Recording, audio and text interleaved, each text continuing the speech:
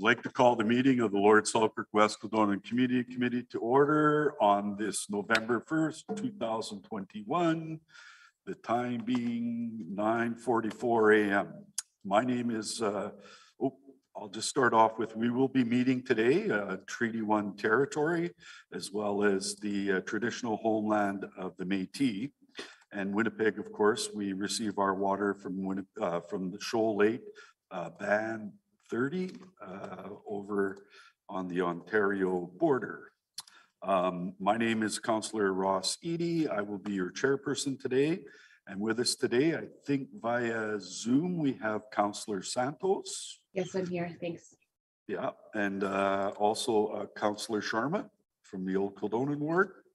And uh, with us from our administration, we have Mr. Uh, Rack Hare from uh, Planning, and we also have our senior committee clerk, Mr. Prinsloo. Um, uh, Would uh, Counselor Santos, would you move the minutes of the, uh, it should be on your agenda there. What was the date? Yes, I can move the minutes of the meeting held on October fourth, twenty twenty-one to be taken as read and confirmed. Excellent. All those in favor? Aye. Nobody's opposed. That is carried. Now we have some interesting delegations today. Uh, First up on the delegation list is uh, Counselor John Orlikow from the River Heights. um, Is it Fort Garry? Si, senor. Ward? See, Senor, and Deputy Mayor. Thank you. Um, thank you, everybody. I'm here to talk to, I can't remember what report it is, but it's the, uh, it's a, it's a COVID, uh, um, response and recovery plan. That should be on your agenda. I hope, uh, about a couple weeks ago, I sent out, uh, a chart to hopefully help people, uh, the report is quite extensive, a lot of background data and information in there. Um, but at the end of the day, I, I believe that councils like to see what some of the initiatives are. So it's about forty plus items in there. Um, so I'll just give you a really quick overview and then uh, I'll do my pitch for my request from you uh, for EPC. So first of all, this uh, process is a little different than usual. I'm quite interested to see how it's going to flow. Uh, where it's really comes from the community committees. Um, so it's not going to be an administrative report coming down. It's actually going from the community committees up to EPC. So uh, that's why you'll see in the report, not really any recommendations. This is just the report that they uh, compiled uh, based upon some of the feedback from the first time, and then some other initiatives that we've seen through other cities and uh, uh, and provinces. So first of all, it's uh, the total uh, plan. Um, it's, it's pretty significant. Uh, it's more significant than I expected, actually, um, because it totals about ninety million dollars, and that's that's a, big chunk of that is tax inc- incrementable financing. We got 20 million for downtown for affordable housing and also 30 million for affordable housing outside of downtown. Uh, we also have in there a business development TIF, uh, 10 million for downtown and 10 million for outside of downtown. So those TIF policies will help. Uh, we definitely know that through COVID, we saw that uh, the impact of the homeless and people who are struggling to find homes uh, was very pronounced. Uh, so uh, is something that council has been focusing on for quite a while. I think I've been on a number of, you know, affordable housing committees. So uh, this is a hopefully uh, helps uh, spur uh, affordable development downtown, but also throughout uh, the rest of the city. Um, And same thing with the economic development. That could be mixed use, that could be storefronting, that could be innovation. Uh, it- it- We'll have to get a little bit more details about the TIF policy if the plan is approved. The uh, one of interest uh, for counselors, uh, more specifically, is what we call the Canada Community Building Fund money. Uh, That is actually the old gas tax, but uh, it's now called the Canadian Community Building Fund. Uh, There's $10 million that are being allocated for downtown. And as we all know, our downtown is massive. Um, So it's a pretty well, it's a big area, but was also 10 million for outside of downtown. Now, the key with these, uh, these ones, it's not a full-blown, just can do what we want. Um, We have to, in the uh, Canada Community Building Fund, we have to make sure that it's capital. uh, and it also has to be um, on city land. Um, so those are the two requirements from the, uh, the uh, funder, which is the federal government. Thank you very much. Um, so that's that. So, so that's generally where we're at. So the- just, I'll do a couple of highlights of the programs, uh, the temporary, that, are- that are not part of the 10 million, they're separate. Uh, the extending the the patio program, Uh, street, uh, we're trying to get people to be activating the streets again, so some of the street permits, waiving those for a bit. Um, again, continuing the work, that's uh, amazing work that's going on with uh, the downtown biz, exchange bids, EDW, Center Venture and other partner groups, um, which I'm very happy to see that uh, they're working together uh, very collaboratively. And I think uh, Kate Fenske is here today, I believe, uh, to do her presentation and they can walk you through that a little bit more. So I'm very proud of them for, you know, some, this COVID has been very horrible for pretty well everybody, but there are some glimmers of light that are coming out of it. And this partnership is one of them I see that uh, put these groups together to start battling this serious issue that we have downtown. So uh, very, very proud of them for this. Um, We also have things in here which uh, you may be interested in about, okay, where's that 10 million going? Do we have an idea-ish? Um, We do. Um, The three areas that have been identified in the program are uh, splash pads, uh, uh, decommissioning, converting waiting pools, or aligning it with the spray pad reinvestment strategy. So those are some areas. Uh, Regional parks, I think we all know what happened, some of our regional parks. They got a little overloaded uh, with people, so we had issues about benches and uh, open areas that could use some more trees, uh, maybe some pathways that need more connecting, uh, some more garbage uh, containers. So those are kind of areas that you may want to look at if you have a regional park. Um, Or if you don't have a regional park, but you still think you have a- an idea that could work in a regional park. And then there, we also found there's a few areas, again, active transportation. It could be cycling paths or it could be walking paths where people were wanting to walk around their neighborhoods a bit more, uh, but they, they have a connectivity problem. So you go down a street and all of a sudden the sidewalk ends, or go down a, a bike lane and all of a sudden it ends too. And so 10 million seems like a lot of money, but obviously it's not once we divide it up by 15 wards. Um, but we're not doing that. This is not a parochial program, um, but maybe, uh, but at this point, it's not. The reason why I say maybe, because that's really EPC's job, uh, to figure out how to, to, how they're gonna put this together.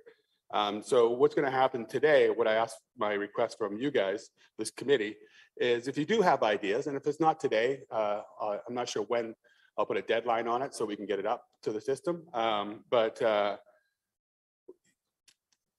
do, pass them forward. Uh, you don't, don't be too worried about the idea if it actually conforms hundred percent, doesn't matter at this point. If you have an idea that you saw in your neighborhood, uh, or you saw at a park, or you saw it read in the paper, um, you by all means put it forward. But the three areas that we're talking about specifically in this plan is spray pads, AT, and regional parks. So again, I have a beautiful little Harrow Park, but it's not a regional park. Uh, but again, I may ask for something for Harrow Park, even though it's not a regional park, but I, you know, we'll see what EPC does. Um, so that's generally about it. It's, uh, uh, as we see, we are moving forward. I, you know, I, I am, Halloween was kind of fun. It was nice to see the kids back out again. It made me feel good. Uh, made me feel good going out to represent, uh, EQ3, uh, mayor at EQ3 again, being in public again, uh, and meeting people. So we, I believe we are, uh, moving through COVID. We are getting through these phases. Um, but Winnipeg needs some help, and all cities do. They always did, and they still do. So how are we going to help propel our economic recovery uh, in an equitable manner um, that addresses the issues that were severely hit by COVID? Uh, Councilor Rollins was quite clear, you know, the impact on, uh, on women uh, was more severe. And again, even the report says that. Um, the- It was very severe for women more than, let's just say, for males because of the industry that women uh, generally are in, are much more service-based. And that got really, that got really difficult during the COVID time. So those kind of ideas, put the equity in your lens as well. Um, And so uh, I leave that with your committee and I'm here to answer any questions. Thank you, uh, Councilor Rolico. Um, Colleagues, any questions? I can start. Yeah, you great. like. go ahead. Uh, Councilor Orlikow, thanks so much for appearing here. I, I know you took the time to attend each community committee last week. You mentioned that. and I also tuned in uh, where I could to the other committees. Uh, Appreciate the opportunity to also send ideas forward after today's meeting because it is a tight time frame that uh, we need to keep moving on this as well.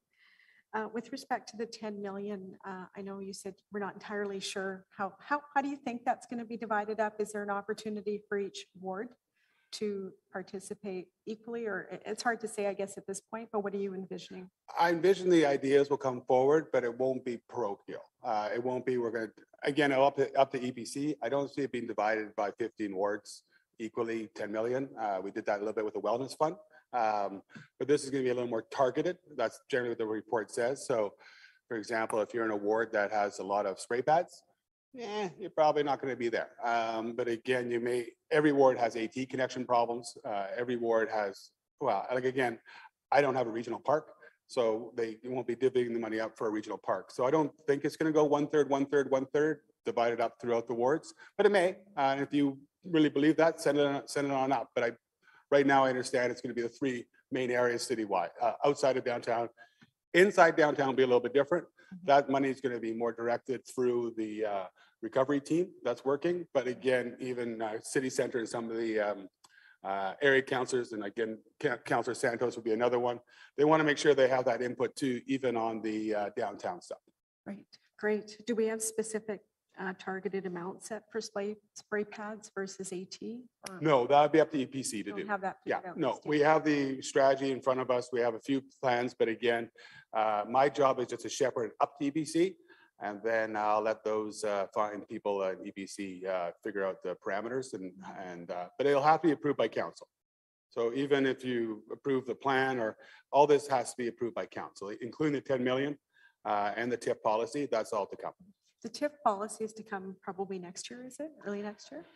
Uh, I, yeah, like, I guess next year being after January, yeah, I think the, the, generally the TIF policy, uh, as we know, uh, we've been around uh, both, uh, Councilor Ely, yourself and myself for a bit. TIF policies are not as simple, uh, as people like it to make it out to be, like what is affordable housing? What, uh, you know, will they build it regardless if we don't give them the TIF? And how do you find out that measurement in between those two? Uh, and then we also want to make sure that, that we line it up in a way that the federal government and the provincial government can also participate. What is the timeline of um, Um, deciding? Councillor Santos moves suspend. Or is, was that his ten minute? Yes, that was the ten minutes. Oh, that was Yeah, 10 that minutes. was just the Okay, ten minutes questions, yeah. What is the, do we know what the timeline is of uh, figuring out where these funds will go? It- Will it be before the end of the year or in, early in the new year? A- Again, I don't know. Uh, That'll be up to the, uh, the EPC. Uh, It may, it may be a separate report. It may be a part of the budget. It may be after the budget, you know. Right. Give you, it could be anything at this Yeah. point, but we just want to make sure that the plan, um, as we know, lists are sometimes difficult. uh, But it'll be up to EPC. Maybe let's do a blank list. uh, But we do need to get that funding at least uh, allocated in the budget. Um, If it's a funding with uh, projects or not, I don't know that part yet, but we need to put that, uh, that, that Canada building money in the budget so we don't lose it as well. Right. Okay, Coun- um, Mr. Yeah, Chair, uh, we'll move Counselor on. Santos, do you have any questions? Yeah, I think you touched a little bit lightly on uh, the $20 million, um, the Canada Build Fund. Is that money already readily available in, in our city budget? Or do we have to do this first and then apply for it? I'll let you, actually, I believe it's, uh, it needs to be still put in our budget. It's sitting there, but it hasn't been, uh, accounted for.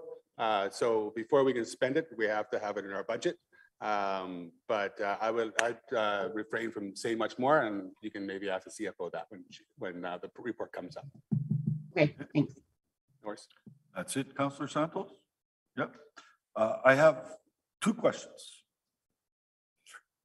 I don't think I quite heard you, heard you hit on, part of this TIF will be, I guess Ms. Fenske will be the person to ask, but um, we're going a little bit different with the TIF. It's not just for affordable, it's economic development as well as what, which is what the province has done with their incremental financing. Yeah, there's two. There's, uh, the affordable housing and then, uh, there's, uh, twenty and thirty for affordable housing. And then there's ten and ten for bus- business development. Okay, so most of, okay, the bigger portions for affordable. Yeah. Um, the, uh, this is just a, did you, did you know that Counselor Santos, uh, no, uh, some years ago, two or three, mo- uh, or when was that? Eighteen, I guess. Anyway, moved a motion regarding, uh, wading pools and spray pads. And that, uh, Protection Community Services has a non-parochial, uh, Yep. draft plan. You, you know that, right? Yeah, yeah, that's, uh, that's part of the framing, uh, now. So there is actually, uh, a- uh, there's two, uh, waiting pools, uh, uh, plans kind of out there. Uh, I've read them briefly, uh, but they will be a part of the consideration. We're trying not to make this an administrative down process as much. uh, then a council, uh, then uh, like a ward up.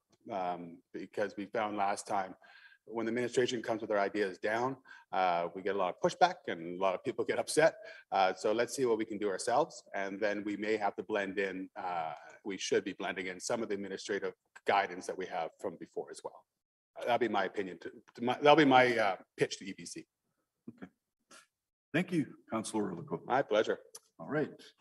Um, uh, Inspector Lutz is not able to make the meeting today, so in delegation, we have, uh, our third delegation is uh, Ms. Kate Fenske from the Downtown Winnipeg Business Improvement Zone.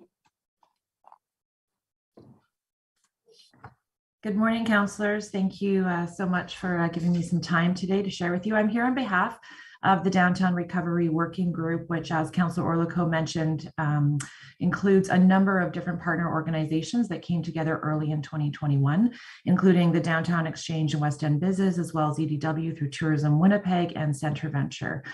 Um, we all understand COVID 19 uh, has impacted everyone, and we know that recovery is not going to happen quickly, uh, especially downtown. We're still seeing a lot of challenges in our city center, uh, but we are thrilled to see the City of Winnipeg in its report uh, recognize the centrality of our city's downtown to a successful recovery for our entire city. Um, as you know, the various neighborhoods that comprise downtown Winnipeg have been hit particularly hard and in just about every possible way. But while the challenges we face here are significant and unique, uh, they do have an impact on our entire city. And there can be no recovery for Winnipeg without a strong recovery for downtown. I do want to be clear this isn't about downtown versus other neighborhoods. This is about um, uh, what is best for all Winnipeggers. Uh, and that's why we're really pleased to see the focus on affordable housing in the city's report throughout the city as well. Uh, as I mentioned, the Downtown Recovery Strategy Working Group uh, includes a number of organizations. We're very much in support of the city's economic recovery plan that includes that support through TIF for downtown development with that specific focus on affordable housing, but also the investment in capital infrastructure um, because there is a desperate need in our city, whether it's maintaining what we already have and making some basic improvements, and also um, finding unique opportunities through the city's outdoor public spaces uh, that exist that could use some enhancement. We really think that strategic and targeted investment is key to aid in downtown Winnipeg's post-pandemic and economic, uh, so economic and social recovery. Um, as you may be aware, downtown Winnipeg is less than 1% of our city's total land area, even uh, as it is uh, extremely geogra- uh, geographically quite large. But it makes up about 17% of the commercial property tax base and about 14% of our city's business tax base. Uh, so, what happens downtown and the revenue generated here can support and does support amenities and services throughout the whole city. And our hope is really what we are able to try here in the next sort of one to three years through this downtown recovery strategy with the city um, is, is, pilot some new things and, and really making a, some, some strategic investments that can benefit the whole city, but potentially also help other neighborhoods uh, as we move forward in the recovery. Uh, you may also be aware 70% of Winnipeg's office space is located downtown, and the loss of workers has significantly impacted um, downtown businesses, and there's been a significant decline in traffic. As of September, only 24% of workers were back downtown full time. That's up just four percentage points from March. We were really hoping to see um, a greater return this fall, uh, but we know some employers uh, have pushed their, their start dates back into the new year. Uh, the other thing that, that you're all very much well aware of is the loss of public space and the ongoing closures that's led to increasing challenges for our city's vulnerable population with limited to no access to public washrooms or safe spaces to warm up in the winter or cool off in the summer. We're very pleased to see the city building that public washroom at the corner of Main and Henry. However, just one location in about 300 city blocks, we know we're going to need to do more. And as you know, our experience this past year shows the impact of the pandemic on our downtown and therefore our city is extensive and significant. Um, over the past summer, uh, our working group met with about 110 different people from about 90 organizations throughout the city. That included everyone from large employers to poverty reduction and community support agencies, restaurant and retail businesses, real estate professionals and developers, tourism, entertainment, arts organizations, educational institutions, and of course, downtown residents. And as I've been sharing with other counselors in these meetings, um, we kind of chatted with anyone that was willing to uh, take some time and give us their thoughts and their input and feedback on a downtown strategy, which is part of the framework that is included in the city report. And those critical discussions and the research we conducted earlier this summer uh, have really informed and shaped that framework that's there. Uh, and I want to just share with you briefly the three principles uh, that guide the framework for the strategy that's going to then inform the detailed design of all the strategic actions over the next one to three years. Uh, they are local economy, social inclusion, and of course, arts and culture. Because without all of that working together, um, that's really what, what leads to, to having a strong downtown. Uh, the framework established, establishes high impact strategic actions, as I mentioned, uh, in the next three years, which is one year longer than the city's plan because we know downtown is going to take longer to recover. Uh, but there's five overlapping uh, and complementary streams of activity, activity. And I think one thing that is really important to note is that, you know, we talked a lot about this. It wasn't about creating a menu of different things that we could try and do to support downtown recovery. It really was these key things all layering together, and they came out in all of our roundtables and our one-on-one interviews that we've been conducting over the last five months. Um, this key streams are revitalizing places. So that includes high impact infrastructure projects. It includes things like trees, lighting, parks, and wayfinding uh, energizing spaces, which is about getting our events back and having a, a, a things to come and see and do downtown, pop-ups and supports for arts and culture centers. Uh, and the third stream is supporting people, um, really, really critical as we know throughout the city, uh, but more of a focus on, on shelter, harm reduction, public washrooms there. And the fourth stream, living downtown. We know we need to boost our residential population downtown so businesses aren't relying solely alone on downtown workers as their primary customer base. And having more people living downtown leads to that vibrancy. It can attract talent, it can attract other companies. Um, that's really what they're looking for. And the fifth and final stream is about building business. So supporting entrepreneurs that have committed downtown and attracting new businesses, looking at business incubators and facade improvement programs. So the ask from the Downtown Recovery Working Group what we're looking at is about a total investment of about $90 million, um, 30, 30, and 30. We think it's critical that all three levels of government do support this work. And that is something that we heard uh, from those dozens and dozens of Winnipeggers that, that we talked with is that it's really critical for all three levels of government and all sectors to be working together. And that was a key thing that key theme that came through is everyone is willing to step up and do this work as a community. We also envision a downtown action team to lead, implement, and assess the impacts of the recovery strategy. We know we need to set really specific outcomes and measurement along the way to ensure we're being successful. Uh, we see that being as the current working group, as well as representatives from the City of Winnipeg, poverty reduction and community support agencies, and the arts and cultural sectors. Um, all along the way, we want to make sure that this strategy uh, aligns with other work that the city is doing, obviously, including not only the economic recovery plan that um, we're speaking about today, but also the Exchange District Neighborhood Plan and other city plans like the Transportation Master Plan, the Transit Master Plan, um, and other things that the city has underway. We know we can't do this alone. Um, and as I mentioned, the key theme that came through is that collaboration is so critical, um, and everyone we've spoken to is willing to help. Uh, we want to thank the city um, for listening to the downtown community. We want to thank the public service, especially for their guidance and support this year, uh, both in um, uh, with working with Matt Dryberg and Catherine Kloepfer, and also the Property and Planning Department that has been part of our core working group um, and making sure that it, there's an alignment with the downtown plan that is underway and having their advice and guidance along the way. So now, you know, we have a strong partner in the city and we need to work collectively to dig into the detail and make sure we get the highest outcomes for downtown and for our city. Uh, one of my favorite quotes uh, that I always like to share uh, that came up this summer is that our downtown is like the front door to our city and we're looking to council to lead our city's economic and social recovery uh, for the benefit of all Winnipeggers. So thank you very much for your time, and I'm happy to answer any questions if there are any.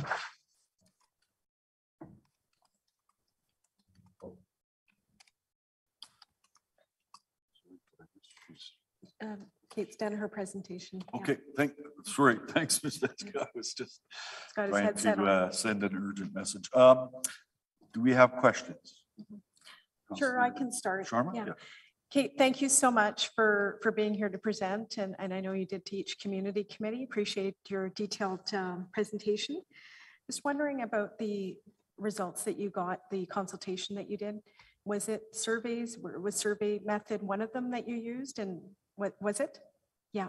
What was Yeah. What kind of feedback, um, what kind of participation was there, and from what areas of the city? Yeah, we heard from a couple thousand Winnipeggers through a public survey that, that we did over the summer. Um, so I think it was a, a a pretty great response and, and it was interesting. It wasn't that there was one response uh, from one area versus the other area. It was from Winnipeggers uh, uh, throughout the city and even a couple outside of Winnipeg that visit regularly um, that we did hear from.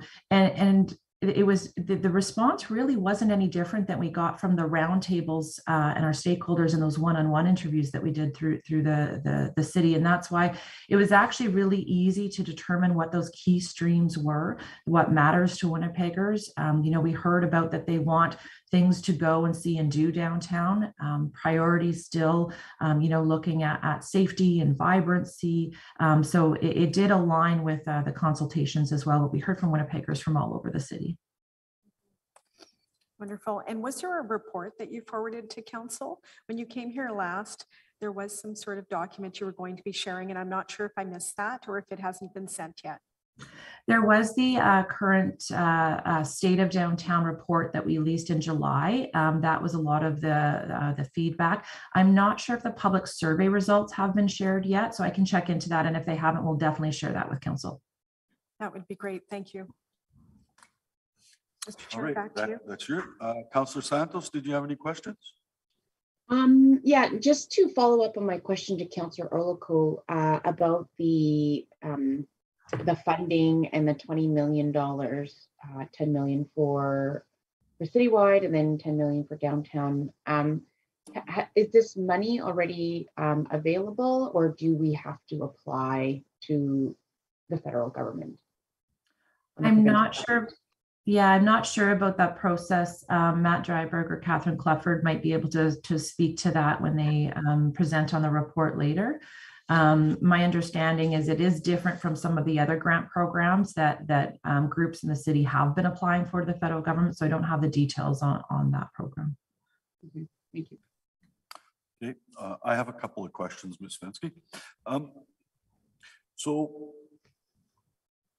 the, there is uh, incremental financing money for affordable housing in the downtown, I believe. Um, And you were on that committee with Center Venture, and that is some of that incremental financing being looked at for the uh, uh, new proposed uh, affordable housing and commercial space project across the street from City Hall? Um, I'm not aware of the details of that. My understanding is that uh, the the TIF program will still need to be built. So my guess is it would be new projects, but there may be projects still that um, uh, developers are looking at, or, or there's proposals together. We really hope that there are some ones that that can get underway quickly, because we know it does take some time to obviously come up with the plans, get approvals, and build the building. So I'm not sure about that specific property. Um, but I think for, for us, what we know is really critical is um, when we're looking at the residential population, the need for affordable housing, um, the wait lists for downtown options are quite long. Uh, so it's really important that we do provide more options, whether it's uh, young families, uh, seniors, students, um, young professionals that, that, that are looking for different options uh, that do want to live downtown in our city center. Um, so I think that that's why there's it- it's really promising with that focus on affordable housing, not just in downtown but throughout the city to help meet that need uh, and a growing need uh, that we know is there. Um, I think I read something and you can clarify this for me. Um, is, is there a proposal to um, uh, present uh, incentive for like uh, storefront enhancement and um, uh, some sort of office development or of sorts? Is that can't remember quite what I was reading in there. I'll be able to ask the administration, but uh, is the downtown biz looking to do something like that as well? Yeah, the recovery group, we have talked about, you know, how do we support existing businesses and where's the help needed? Um, so I think there is definitely, as you know, um, uh, throughout the city, support for businesses that have been in place that have been critical. Um, and moving from um, uh, the focus on sort of the rent relief, which we know will end eventually through the federal government, is how do we support those businesses um, and what's needed? We have a lot of vacant storefronts downtown. There's been a number of closures over the last year and a half that we haven't necessarily seen in every neighborhood. Um, so what can we do with those vacant storefronts um, to to entice people um, or just support the businesses that are already there? So we don't exactly have the details yet, but we know that there needs to be something around that with the vacant storefronts and for an early priority uh, in 2022. Okay, um, you were talking about, you know, the office workers coming back down, uh, downtown, um, um, one downtown business I know of where my son works for, they're talking about bringing employees back to their space, uh, near Portage and Main. Um, uh, but they're only talking about bringing them back to the office less days a week than, than used to be. Um, in your survey and stuff, do you, were, did it look like a lot of businesses were potentially gonna do that? Yeah, we are hearing that. Um, there has been, uh, um, I think, a widespread commitment to downtown and bringing workers back, but allowing that flexibility of maybe not being five days a week. So we know that is going to be a bit of a challenge because that does take the the density um, that we would normally see Monday through Friday downtown, nine to five. It will drop that density a bit, which does have an impact on the businesses. One of the reasons why it's so critical to to work to improve our residential population. So there are people here regularly not just nine to five, Monday to Friday, but 24 seven as well. So we are hearing that. A number of employers are still figuring out exactly what their return to work plans look like and how they might manage, whether it's three days or four days a week back in the office. But I think that's a shift that was that was starting before the pandemic, but the pandemic really showed that there are ways to work different differently. So really through the- our conversations with our working group and large employers is how do we adapt as a city to that and to manage that? If there is less transit ridership or less parking revenue coming in, how do we adapt and support workers whenever they're here, but also other visitors and the people that are here downtown all the time? Well, great, thanks, Ms. Fenske, and, uh, let's hope, uh, next year goes really well for downtown and Winnipeg. Thank you Um, so much. yeah. Appreciate it. Yeah, much appreciated. Thanks for attending. Take care. Thank you. Yeah. All right, so moving on, um, we're moving on to our first report, which is the topic we were just talking about, I believe. Uh, Uh, Mr. Chair, I just wanted to alert you, it's 10:20, Is it just in ten twenty right case now? uh, you needed to do anything prior to the public I do hearing. actually, hang on.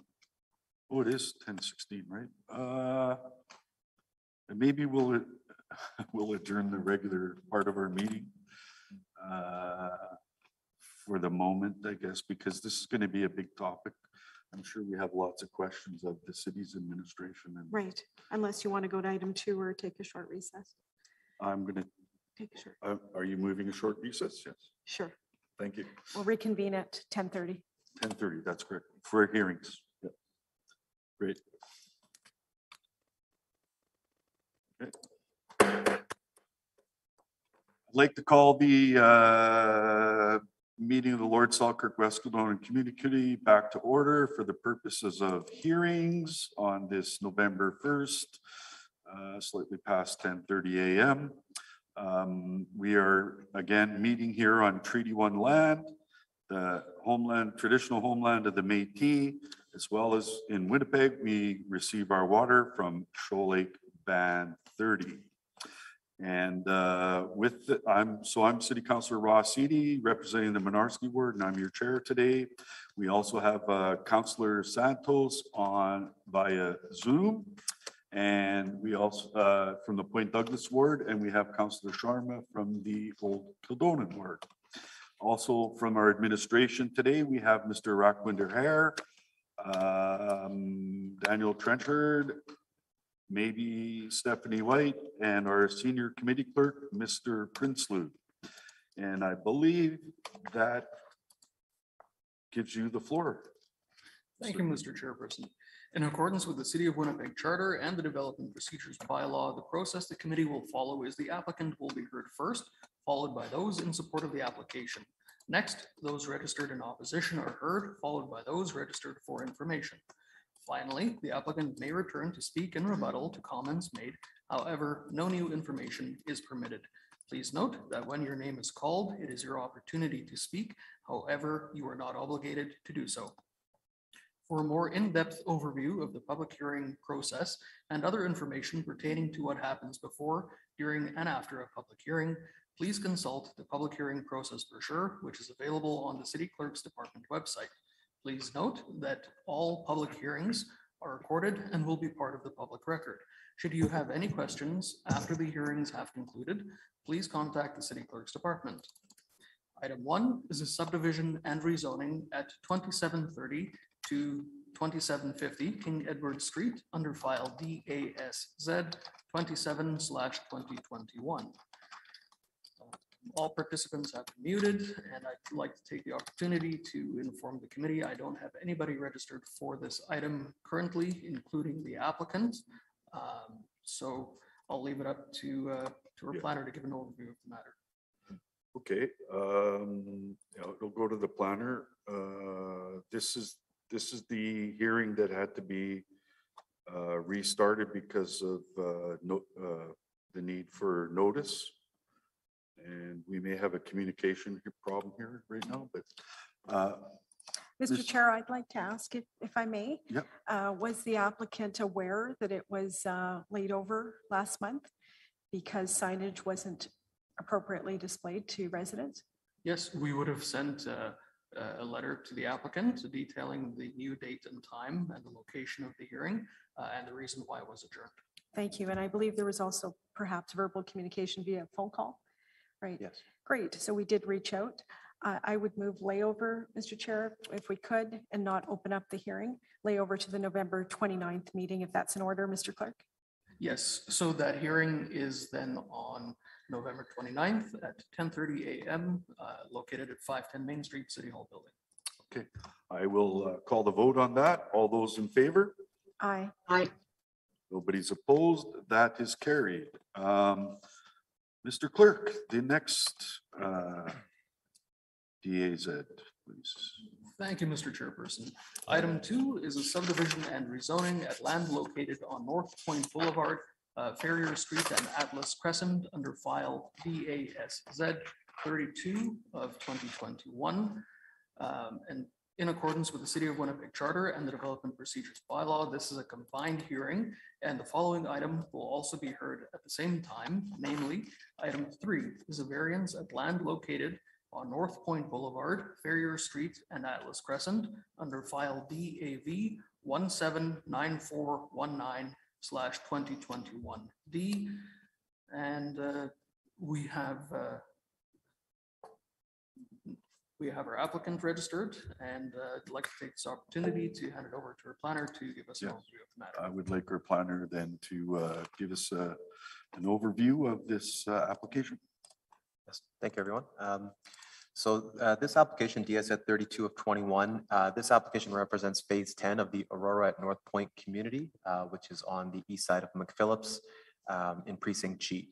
Uh, The applicant is proposing to rezone twenty-six acres of land in order to create two hundred and twenty lots for residential development. Uh, It results in the creation of a number of R1S, R1M, R2, and RMFS uh, lots. The uh, proposal also results in one point one five acres of public reserve. Uh, The site is north of the future Chief Peguis Trail Extension right of way, and a, uh, a portion of the land would remain zoned agricultural, and that's to accommodate uh, the Chief Peguis right of way, as well as to accommodate a future Phase eleven uh, to the east of the planned area. Um, As a result of that, uh, some variances are triggered, uh, mainly that the agricultural zoned portion of the land is less than forty acres, so that triggers a a variance for lot area, which we are supportive of. Um, As well, uh, a variance is requested to establish two of the multifamily sites. Uh, These are two uh, sites that would have uh, townhomes, and the combined lot area is thirteen square feet less than the minimum lot area requirement under RMFS. So it's a minor variance, and we are supportive, but that is one of the variance items as well. Uh, In terms of the subdivision rezoning, as I mentioned, uh, it's uh, 220 lots. Uh, The administration is recommending approval, subject to conditions. Uh, There is a development agreement uh, as well as a request for an additional or recommendation for an additional 0.35 to 0.5 acres as public reserve. And I believe my colleague Daniel Trenchard is here to to answer any questions on the development agreement. Uh, Did my colleagues have any questions? Counselor Santos, Counselor? No questions, Counselor Santos? Mr. Chair, I'd like to ask if uh, anyone from Parks is present today. It it was my understanding that they were going to be. Is Stephanie Whitehouse with us? Stephanie Whitehouse is not currently in the meeting, uh, but she has been provided the login credentials. Thank you. Okay. Uh, Does the planner know if she's attending? That's my understanding, yes. And I believe Daniel is on hand as well, who can also speak to uh, the, those, those issues as well. I have a, I have a question, Counselor Santos, just if, if I might. Um, When you, s- when, um, so further developments being looked in the future to the east, would that be on the east side of Ferrier and south side of Murray? Uh, That would be on the west side of Ferrier. So Ferrier would be the boundary of, of the planned area right now, and Ferrier is, is planned to realign, shifting further to the east. Um, So the, the next phase of development would be between this phase and Ferrier. Ferrier would be the, the limit. Uh, And it would be south of Murray as, as well. Right, but, okay, so it's, so be on the west side of Ferrier then? Yes, Okay, that's where, that's where Aurora's property ends. Okay, yes. that just clarifies that part for me. Um, are we ready to hear from the applicant? Yes. Yep, okay. Uh, Mr. Prinsloo, I'm not sure who's the applicant. Uh, We have Mr. Brendan Salico, who's at the podium here, ready to present. Uh, So you have up to 10 minutes, starting now. Thank you. Before we get started, just want to thank the committee, uh, the administration, uh, the clerks, and uh, anyone who's logging in to uh, watch the public hearing online. Uh, What we're looking to present on today is a project we're very excited about, which is the uh, Phase 10 of Aurora at North Point, a community that Takata Investments and Sunrex have been developing for over roughly the last five years. Over 100 acres have already been developed, and this is just the next phase in continuing that subdivision and that new community. Uh, My name is Brendan Salico. I'm a planner with Landmark Planning and Design, and we've been assisting with the planning process over the last four years. In terms of the context, uh, the proposed subdivision is roughly 48 acres in area, 26 of which are to be rezoned. And these are generally bounded by North Point Boulevard to the north, Ferrier Street uh, to the east, future Chief Peguis Trail extension right of way to the south, and the former McGregor Street right of way to the west. In terms of the precinct plan objectives and vision, this is something that we follow closely and uses a bit of a guideline to help uh, design a new community. And uh, there were several policies that helped direct the, uh, the, the design of the subdivision, including providing a wide range of housing types, enabling the development of different lot sizes, creating an integrated walking and cycling network, encouraging connectivity not only internally, but to the regional transportation network, distributing parks and open space throughout the planning area, maximizing infrastructure investments through density, and supporting the development of complete communities. Our vision for Aurora North Point is of a pedestrian-friendly, medium-density neighborhood with a mix of different housing types and parks. In terms of the precinct plan policy map, uh, the proposed subdivision falls within two precinct plan uh, land use policy areas, low-density residential and medium-density neighborhood. The proposed development meets the objectives, policy, and density targets of each of these two policy areas respectively, as outlined in uh, Mr. Hayer's planner's report, uh, which we support. In terms of the proposed subdivision concept itself, uh, this is a seamless continuation of the existing community, Aurora at North Point. The subdivision again meets the policies and objectives of the plan. uh, And as noted uh, by Mr. Hare, there are some minor variances required uh, to ensure compliance with the density targets and City of Winnipeg policy. In terms of the land use types, we've got R1M kind of on the periphery, so some larger single-family lots, some R1S as well for some smaller lots, uh, single family again, but with rear lane access. R2 for some duplexes, RMFS uh, for townhomes along North Point Boulevard. And then in the southwest corner, uh, we have some park space, uh, some natural park uh, that will be preserving some of the mature trees, a continuation of uh, the, the current natural park uh, on the other side of the McGregor right of way. In terms of active transportation, Aurora at North Point is one of the few new communities in Winnipeg that includes sidewalks on every street, and Phase 10 is no exception to this rule. Pedestrian and cycling connectivity have been key factor in the design of this community, and there are AT pathways not only within the subdivision, but connections to the larger network as well, uh, which we'll show. So here you can see in the orange, uh, those are, uh, you know, these sidewalks on every single road. The subject site is outlined in blue, and you can see the, the other areas that have been developed uh, within Aurora over the past few years.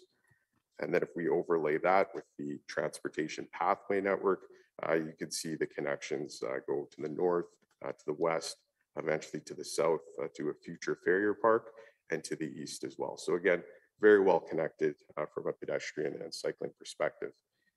In terms of uh, housing types, uh, there's a variety of different types in this proposed subdivision as well as the community at, at large. So as noted, we have a variety of different sizes of single family lots, including those with front drives and those with rear lanes, a bit smaller. Uh, we also have a variety of duplex products, as you would have seen in the previous phases of Aurora. And then townhomes as well, primarily in this case along uh, North Point Boulevard uh, to match what has happened uh, further to the west in this same community. Uh, There are some concerns in new communities about on-street parking and snow storage, and this is something that our project team worked proactively to address uh, through the planning process. Uh, So through the use of rear lanes and flanking lots, uh, joint driveways for duplex lots, as well as reduced driveway flares, uh, we've been able to ensure that every single road segment uh, of this new subdivision uh, not have any issues uh, from either a snow clearing perspective or on-street parking. Uh, There are two short segments of streets that do have front driveways on both sides. And as you'll see, and as we submitted with our application, uh, those lots are wide enough to accommodate on-street parking every two houses on one side of the street. So again, met all of the criteria in both cases for addressing those two concerns. Talk a little bit about parks and green space. The proposed subdivision does meet the policies and objectives of the precinct G precinct plan as it relates to parks and green space. 1.15 acres of park has been provided at the southwest corner, which is essentially a complement to the existing natural tree corridor uh, from the previous phase. There's also a four acre active park uh, outside of this subdivision boundary, but just on the northern boundary of the subdivision. And itself is adjacent to a six acre school site. A major regional park and forest is planned directly to the south of the precinct, just across the Chief Peguis right of way. And an allowance has made, uh, has been made for active park space in the next phase to the east. So that's been planned for. Uh, The exact location and exact size hasn't been determined at this point. Uh, We show it in a bit of a shadow plan, uh, but that would help balance the distribution of park space uh, between the west and the east within this community. Here's just a plan that kind of illustrates, you know, how green and how much park there actually is uh, or will be within this community. Uh, So you can see here, I'm not sure if my cursor will show up on the screen, but you've got that four acre active park just at the top corner of the subdivision, uh, directly adjacent next to a six acre school site. We have that natural area, which was part of the original master plan for this community. And that's uh, filled with uh, mature trees and natural pathways. We've got uh, a future Farrier Park to the south of the Chief Peguis Trail, which can be enjoyed by, of course, folks from Aurora, but uh, elsewhere in Northwest Winnipeg as well. Uh, Some PR along the existing lake system as well. And then as noted, there is an allowance for some sort of active park for a future phase.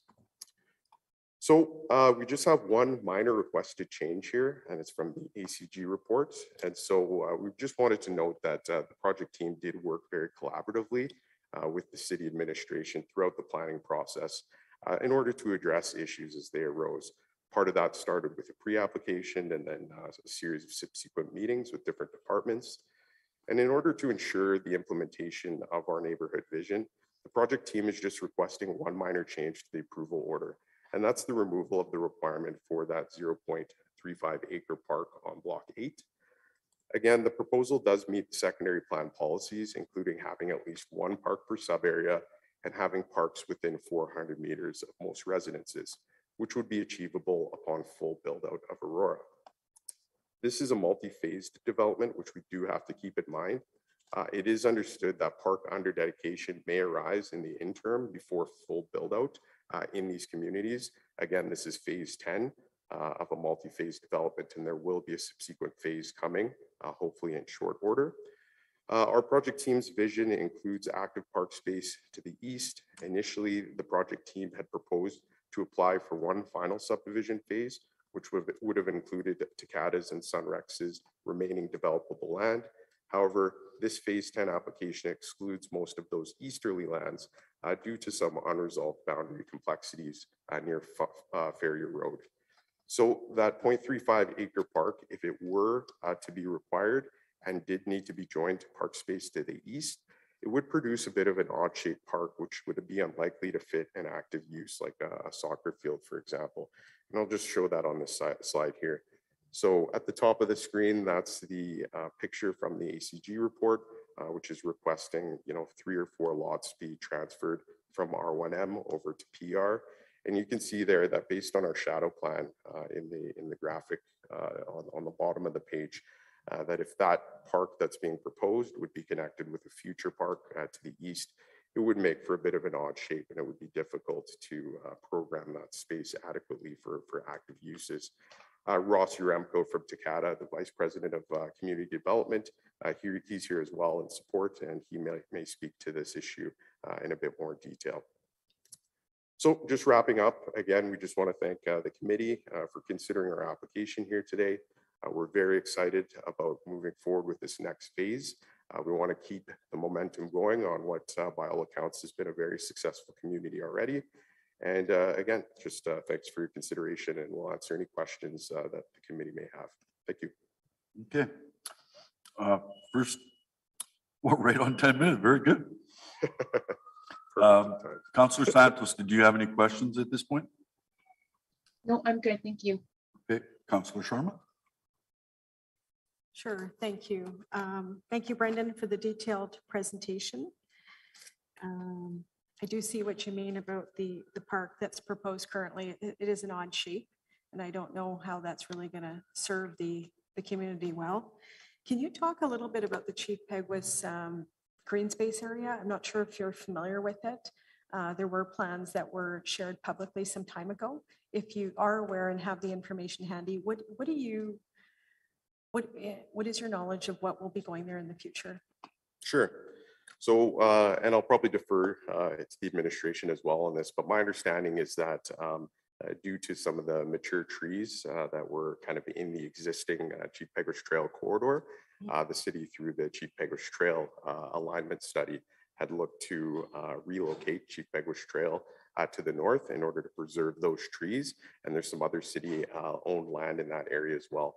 And it's our understanding that uh, this will eventually serve as a community or regional scale park uh, for the entire area. And of course, part of that uh, park would be on lands that uh, Takata currently owns. Or I guess sort of the, the right of way would be within their lands.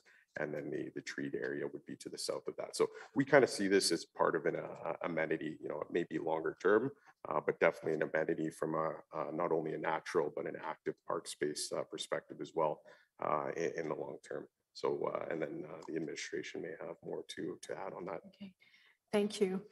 And uh, you mentioned that you do agree with the report. Do you concur, except you're looking for one change? That would be page 21 of the ACG report, clause six. Is that correct? To have that deleted? Yeah, I believe that's, that's the clause. So it's the one uh, referring to the uh, addition on block eight of the uh, 0.35 uh, acre park.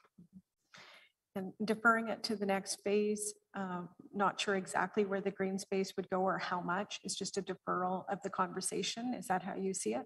That, that's exactly it. Because, uh, you know, we realize that at the end of the day, uh, you know, either the, the required amount of, of green space, the, the 8%, uh, or some combination of 8% uh, cash in lieu or other considerations Uh, So that is something that, you know, at this point, I think that discussion can be deferred, as we often do in these multi-phase developments, is once that final phase comes through, all of that will have to be uh, addressed. And we just feel that to have a co- cohesive uh, park space and just a cohesive development, uh, that it makes more sense uh, to plan that in that next phase, whether that's called uh, Phase 11 or, or something else. Right.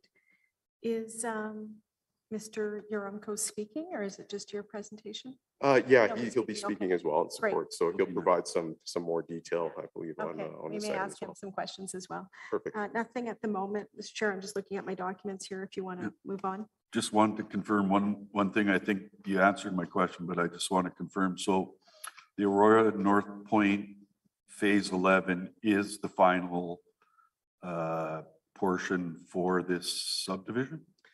Yeah, so the, the next phase, uh, which would probably be phase eleven, uh, I believe it's, uh, you know, it's essentially the residual parcel, so it would be, uh, I'm not sure the exact acreage, but it's essentially to the east of phase ten and phase nine, uh, up to roughly, uh, the Ferrier, uh, right of way, Mm. and then bounded to the north by Murray and to the south by, uh, the Chief Peguis Trail, uh, extension right of way. Okay, and delaying Phase 11 would be, you're trying to work things out with other property owners and stuff in that? Um, mostly with the city of Winnipeg. So, uh, due to the Chief Peguis Trail, uh, Mm-hmm. realignment, there will be a realignment at Ferrier as well. And, uh, there's just some, uh, kind of unresolved complexities at this moment as to the exact location of that realignment. And so that's the reason why, uh, these lands that we're talking about, which would be a phase eleven, uh, that's why we're not coming forward with those, uh, lands at this point.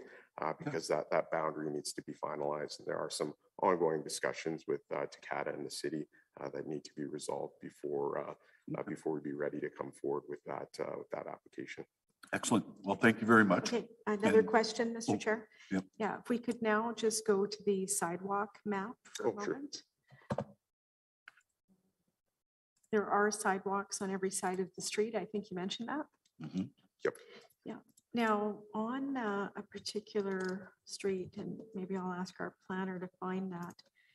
In the first phase, um, there was some comments from residents on Atlas Crescent where we have curb adjacent sidewalk, or in the case of Atlas, I think it was a sidewalk that was in the middle. It sort of cuts up a driveway. And Okay. we've seen it in other developments. We recently had an issue in Amber Gates as well that arose. So I just want to make sure that we look closely at any of those scenarios here and take what we may have learned from Atlas. I know uh, Mr. Scott Redmond was involved in a conversation with myself just recently. Mhm. Uh, So Takata may, may be aware of that. Um, I'm not sure if it should be curb adjacent or more in the middle of the driveway, but just making sure that we, we're all uh, on the same page as to how we want that construction to take place. And I think it's just one or two sidewalks that may be in question. Can, can our planner comment, uh, Mr. Clerk? Uh, Yes, Counselor. Uh, Schedule C shows the location of sidewalks recommended by Public Works. Um, Most of these sidewalks would either be on blocks that have uh, lots with uh, back lanes or flanking the block. There's two blocks where you would have front driveways uh, and uh, sidewalks. Uh, The sidewalks, I believe, are to the satisfaction of Public Works. Uh, Perhaps Daniel can clarify, but I believe that's typically uh, one foot off the property line is their standard. Right. What page is that on the map? Oh, I see it here now. Uh, Towards the end, it's- 32, I think, yeah. Yes, Schedule C. Yeah, so those darker lines are Yeah, the recommended. Schedule. C, excellent. Uh, Brendan, do you have any comment around that? I think there's just two streets we'd need to pay attention to. Yeah, for sure. What we typically see in these new communities is that, um, you know, in cases where there's either flanking lots or lots with rear lane, we'll usually, we usually see that uh, sidewalk kind of off uh, of the street, kind of in the boulevard. And whereas when we have uh, front driveways, usually we see that back of curb. So definitely, I know that Takata is open to, uh, you know, any lessons that we can learn from their previous phases in order to ameliorate that, uh, while still at the same time uh, ensuring that we meet that goal of having sidewalks on, uh, on every street. So, Great. So maybe that's a discussion you can have internally and, and that's sort of the feedback I got from them. They wanted to just, and it wasn't all the residents, it was just certain ones at the end of the street. okay, But there have been other situations across the city. I remember it was on the news a few years ago in Transcona and I thought, well, I hope this, you know, I don't have to deal with this in my area and it has cropped up. So I think it's just the city administration, myself and the applicant, if we can just be on the same page and do what we think works best for the neighborhood keeping in mind uh, residents parking in their driveway and also on-street parking and garbage collection. There's a lot of things that come into play when making the correct decision here. Mhm. Thank you. Thank you. Great, thank you, uh, Councillor Sharma. Um, Mr. Clerk, we have uh, uh, people here in support. Or do- Yes, I, I don't have anybody registered, but I do see the gentleman up there. So if you do want to participate, I have a registration form here for you. Um, So we will be hearing folks in support, uh, so that you would be next. So He is here in support. This is the gentleman that was referred to to speak about. That's correct, yes. So that's Mr. Ross Yaremko. I see him in the gallery and he's with Takata, Mr. Clerk. Yes.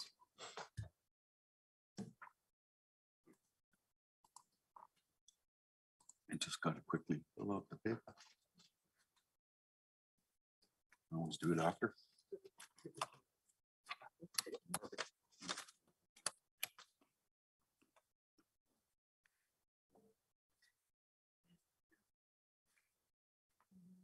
Everybody can hear me?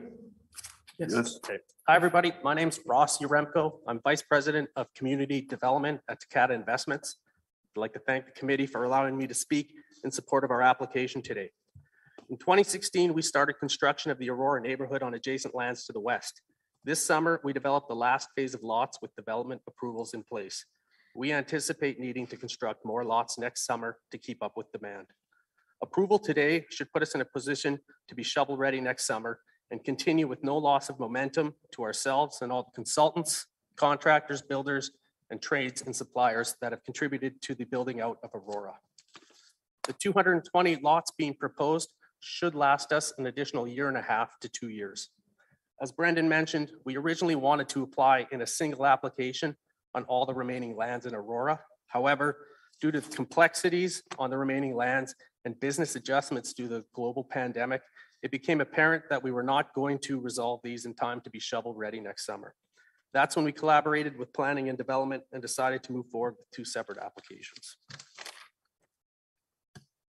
Part of our request today is to defer the requirement for a 0.35 acre park on the east end of the application area.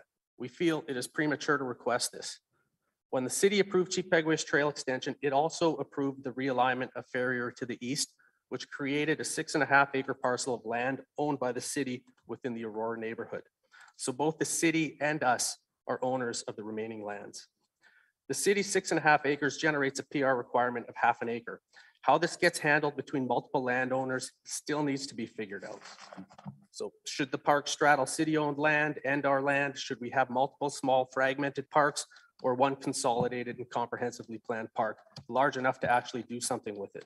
The size, the location still needs to be sorted out. But I do know that approval today and deferring the 0.35 acres does not remove the ability to provide park in that final application, that phase 11. So that's all I got to say here today. Thank you for allowing me to speak. Questions? Mr. Chair, I'll start. uh, Mr. Yaremko, I just want to thank you for being here in Winnipeg today. I think you've come all the way for the hearing. Yeah.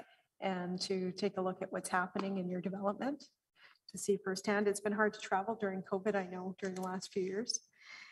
Um, Thank you for your presentation. And so you were also concurring with the report, just asking for that one change? Yeah.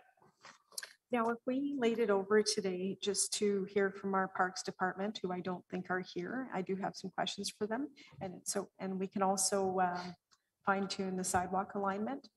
Does that affect your timeline hugely or When would the next meeting be? November 29th? So like three weeks, Three. three, four weeks here. It shouldn't affect it. I mean, we're, we're trying to be in the ground and, and constructing a phase next summer.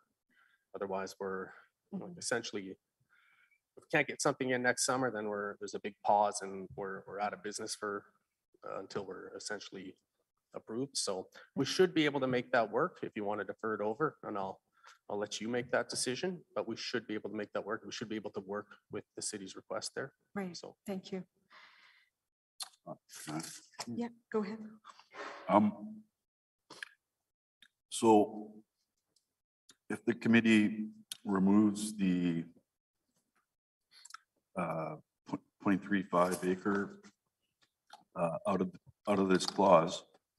I think that sets up the final phase that it would have to provide uh, more than the, what is it, 2% land for parks. I think it would exceed what you're planning to do would exceed that. It- So you're saying it's the company's intention not to balk at having to provide even more green space on phase 11? Um, it is our intention to satisfy the PR requirement across the entire two hundred and twenty acre, like the entire boundary of the, the whole community. So whatever is deemed the appropriate PR dedication across that entire community area, yeah, we will, it is our intention to satisfy that, not balk it. Okay, so you're looking at all the way from phase one to the last phase. Okay. all the way from the forty-three acres of commercial to ultimate Ferrier, but that includes the city who is, who owns six and a half acres there. They have to come to the table too. Okay, thanks. Um, Any more questions? No? All right, thank you uh, for your presentation and support. We're going to move on now to, there's nobody else registered in support of the application. Nobody else registered in support of the application. I'm not seeing anybody else in the gallery. I also have nobody in opposition and nobody for information. Nobody in opposition. That's, that's a good thing. That means it goes priority, right? Um, And no, nobody for information. Okay, uh, do we have questions of the admin? Is Miss Whitehouse online now or not? Yes, she is. She is, okay. Um, do we have questions of the administration, Councilor Sean? Is Stephanie Whitehouse with us? She Hi, I am, and I'm so sorry for the delay. I tried to connect with my phone and I couldn't get in, so I am just here on audio and I apologize for the delay. Hello, counselors. It's good to hear your voice, though. Thank you. All right, Councilor Sharma, you have questions? Stephanie, I was just wondering if you can share with us uh, the plans for the green space along the Chief Peguis Trail extension? Um, I, yes, I, I, I, think they're still being worked out enti- entirely. Of course, um, as was mentioned, uh, a, a large portion of it was uh, in the interest of preserving natural habitat and forest. I do want to point out that this park is not going to be uh, a regional park. I, it, it does get referred to as a regional park a lot, but it's actually a community park. Um, so it will have um, opportunities for multi-use uh, green space for residents and trails, as well as preserve the forest and natural area. Uh, but again, it's not going to be a regional park. It doesn't meet the parameters and the requirements of regional park nor the scale. What kind of amenities are we thinking of placing here? I believe there was uh, a bit of a map that had a, some letters with a legend that corresponded to what, what we might envision here. I remember seeing that once upon a time. Um, I am not, uh, unfortunately, not uh, intimately familiar with all of the details, but again, I think it's multi-use green space. There's not going to be a full-size soccer um, field, from what I understand. Uh, there will be some parking um, and trails and open space for for programmed and unprogrammed activity.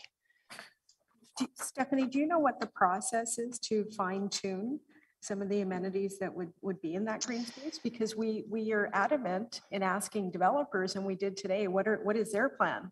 Right?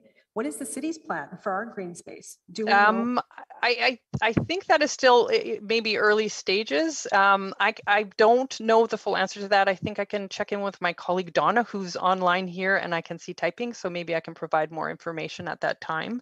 But, um, uh, we do look at whole areas for need. Um, we have, we have a park person who looks at what sports amenities are deficient in an area.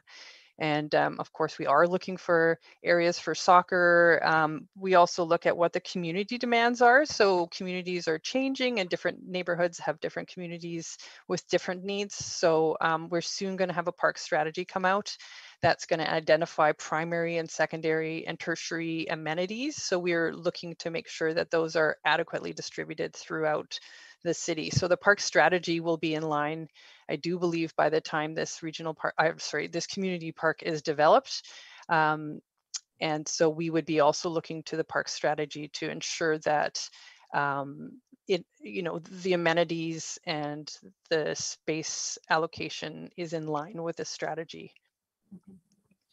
It'll Okay, do you possibly envision a play structure? Uh, play structures are very important. They're considered primary amenities. So we also are looking to have play structures uh, at the neighborhood scale. So that was one of the reasons, you know, we're looking to ensure that at a neighborhood scale, um, there are uh, playgrounds within walking distance. So that's a very important amenity. So it's the top of the line. So that was one of the reasons we are recommending additional park space in uh, this area of development that, that we're in discussion about in Aurora. Mhm, mhm. And those should be within walking distance, so within six, you know, in the park strategy, 600 meters. Right. Yeah, I think we're waiting for the transfer of land. I'm just got a note from, to be finalized before uh, that, that the community park in the south is, is um, really worked out. There's Mhm. still some things in negotiation there. Right, Councillor Eadie, um, Mr. Chair, Mhm. I have, I have a question. Um, So I just want to be clear, the community park we're talking about, where we're going to try to maintain that forest as well. um, That will be on the south side of Chief Peguis Trail? That is correct. Yes. Okay, so when you're looking at the need for park amenities in that community park, are you considering, are you, are you considering the northern part of uh, the neighborhood called, um, called uh, Margaret Park, where Vince Leah Community Center sits on a piece of property that has a lot of land that needs further development if they were to put in a soccer field? Are you? Yeah, I are you- think, sorry. Go ahead. I think we're looking at the whole, we'll be looking at, because it's a community s- scale park, it'll be serving a larger catchment. So it's, it's actually not considered, uh, uh, the Chief Peguis is considered a barrier to the neighborhood that in discussion. So the neighborhood's north, so we don't consider that, um, you know, a walkable park. It's a fantastic park and it'll serve this area, but it also sor- serve the greater area um, not just this new community, but to, to the residents uh, in, in, in the south. Sinclair and Margaret? Absolutely. Yes, yes. Because Leila's another barrier. Yeah. Uh, So again, that's why we had recommended some park, additional park space in this phase of development because um, the, the park that is dedicated in this Aurora phase is going to be used for the bridge infrastructure that will connect to the community park. It'll be wonderful to have that connection, but that uh, neighborhood scale park uh, will no longer be usable as a neighborhood scale park. Mhm. Can you talk a little bit more, Stephanie, about the pedestrian bridge here that's shown on the map I'm looking at? Uh, the AT bridge to connect across Chief Peguis? Right. that one. Um, well, I can, o- I can, um, that's more of a transportation uh, uh, infrastructure project, but um, our understanding was that the, it was realigned to the park dedication area uh, uh, in order to provide more developable area for the developer. And um, there will be ramping pretty much the entire, uh, this current dedication phase and the um, previous dedication of parkland in 2015. uh, That this uh, phase abuts uh, will be used entirely for ramping um, and uh, infrastructure. So we wouldn't be putting any park amenities in, in that, at that location. Does uh, Donna have anything to add? You mentioned that she's there with you, With regards to the bridge, just the green space. Um, I- if I may speak to our, our request for dedication, um, additional dedication in this phase, i- i- is that okay? Is it Donna on the line or Stephanie? She's not, it's Stephanie. Sure. Go Yeah. ahead. I've got done it. So we had requested an additional park because we don't know when that final phase will be developed. Um, and we understand it may be a number of years out. So we we want to ensure that residents in this phase of development are uh, their park needs are met. Um, uh, currently there are over 400 meters walking distance and our secondary plan directs us to provide neighborhood scale parks within um, 400 meters. Uh, residents in the east are going to be uh, over 600 meters to the park that is eventually going to become the bridge and over 800 meters to that school park that was mentioned. Um, this phase and the previous phase of Aurora were under dedicated or are, are under dedicated. Um, this phase will be an acre, uh, just over an acre under dedicated if we don't provide that park and it'll still be under dedicated if we do provide this small park that we're looking for. Um, and then in the longer view, when that bridge at the southwest limit is built out, um, uh, the, the residents in this area will have limited neighborhood scale park access. Um, so and and I there was mention of the odd shape of this park. Um, we have many parks that have unique shapes and that uh, often you know creates different kind of spaces that people can use. Um, this one of the advantages of providing this additional uh, 0.3 to 0.5 acre park is that it'll better align residents in the northeast limit to the future Chief Peguis Trail. There's a walkway that currently leads out, is proposed to lead out to the Chief Peguis AT path. And this, the park and the shadow plan with the addition of this um, area that we're recommending will provide a better linkage uh, AT connectivity to the um, future Chief Peguis Trail. And and I think that that's about it, other than saying, of course, once once that something is fully developed, there's really no opportunity for us to carve out more park space at a neighborhood scale. So making sure we're providing uh, residents with adequate park space uh, as areas are being development or is, you know, paramount to us. thank you. Thank you. Now, Right. the, the um, green space that you're proposing, what could possibly go on there? It's a small, tiny area. Um, w- we can put, uh, we can put a small, um, playground area in a small park. Um, easily, there's, you know, swings, there's small playground designs, so that can be used for that as well as, uh, plan for a future trail connection. Um, park benches, Mhm. all sorts of amenities that are, allow for people to gather and commune in park space. And you're aware of the school site that is close by to the current park? Yes, you. Yes. Um, Offline at a later time, could we follow up uh, about the green space around the ch- future Chief Peguis Trail extension? Absolutely, yes. Time to have a more detailed discussion and uh, focused efforts by myself in this committee, because Councillor Eadie's made some good points about the Margaret Park area. So I think we'd like Yeah. some focused discussion on that, if you don't mind, with yourself and Donna at a later date. Yeah, absolutely. If you'd follow up with my office, please. Thank Okay. you. Excellent. Okay, so we're done with that. Any questions of uh, our planner? No? No, I don't Okay. think so. Um, Then uh, I guess it's time to call back the applicant who can rebut on anything that uh, he has heard. Brendan is just making his way down now.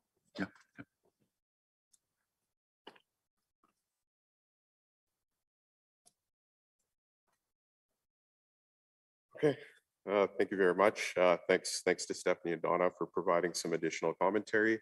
Uh, I would just clarify that uh, the, the policies of the precinct plan, uh, which, uh, which I had a part in writing, do say that, or or sorry, it, it does say that the uh, 400 meters, it, it says most residences, and it also says should be, so it's not a shall and has to be policy. I think we also need to consider that this, as a multi-phase development, um, that we do have that under dedication that uh, Stephanie spoke to uh, in certain phases. And, uh, and then do deal with it kind of on a comprehensive basis uh, before the, the final, um, you know, community is fully built out. So uh, fair points. Uh, We would just argue that in this particular case, we are meeting the, the intent of the policies as well as the word of the policies and that we are in- in compliance with them based on what we've currently proposed And uh, that's kind of what spurred on this request uh, to, to defer it to that final phase that, uh, that Ross had, uh, had spoke about. So thank you very much. Thank you. And just a question or comment if I could make, Mr. Chair? Yeah. If we can, I can do that at this time? Uh, Go ahead. yeah. Just if we do um, amend the ACG report, it- there is an understanding that the deferral means conversations will be had at a later time uh, about the size. It's a negotiation, again, conversation, the size of the park and what, what we're going to put there. We'll have that conversation at a later date. I think that's understood. Yeah, for sure. Thank you. Nothing I, further. I just have, while he's at the podium, I want to ask the clerk a, a quick question. Um, in terms of the priority procedure, if this, uh, application is amended, does that mean it goes then to property and develop and then on to EPC and council? That's correct, yes. The develop, the priority rezoning process is only eligible if there's nobody in opposition and no amendments have been made. Okay, thanks for that clarification. I don't know if, uh, the applicant has a comment on that. Uh, No comment on that. Thanks. Okay. All right, thank you. Then, uh, counselors, do we have a motion? Just Looking forward here. I guess um, applicant can stand down, Mr. Clerk? Yeah. That's correct, yes. Thanks.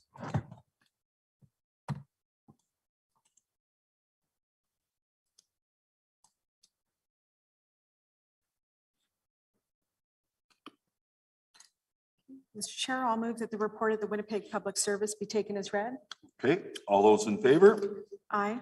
Nobody, nobody's opposed, that is carried. I'll move that the receipt of public representations be concluded. All those in favor? Aye. Aye. Is- Nobody's opposed, that is carried. I'll move that the recommendation of the Winnipeg Public Service be concurred in as amended. And the amendment is to uh, the ACG report, page 21, to del- delete clause six. Okay, and I want to ensure that's the correct clause. Mr. uh, Art, ask our planner, is that the correct clause? Let's confirm. Yes, yeah, And could that be read into the record? the clause six? Yes. Uh, the clause six, um, that is being recommended to be deleted, it states, uh, the developer, so this is under Schedule B, report of the administrative coordinating group, DS at thirty-two of twenty-one. Um, clause six, developer shall at no expense to the city establish a public reserve in the southern portion of block eight, the area of which shall be a minimum of, uh, 0.35 acres and not larger than 0.5 acres with a configuration that allows for an expansion of the public reserve and the development of the residual lands, uh, to the west of block eight as determined by and to the satisfaction of the Director of Public Works. Okay, all right, so motion's on the floor. I'm going to call the question. So. Mr. Chair, this, um, so that's the amendment, and it'll go to the Standing Policy Committee on Yep. Property and Development Heritage and That's right. Downtown Development. It will, yep, that's, what- that's what our clerk explained. Um, all right, I'm going to call the question then. All those in favor? Aye. Nobody's opposed, that is carried. I'd like to move that the, um, but my supporting reasons on this, um, Mhm. Mr. Chair, this is a wonderful development, uh, wonderful community, Aurora at North Point. If you haven't gone through there, it would be my pleasure to take you through.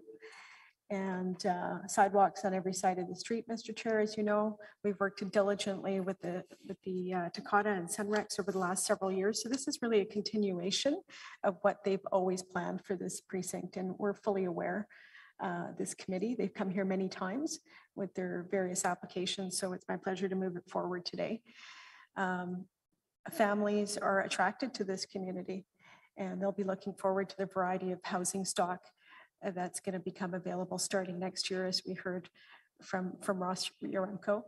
Uh, Very exciting, uh, very exciting what uh, their plans are. So look forward to, to them starting on that next year.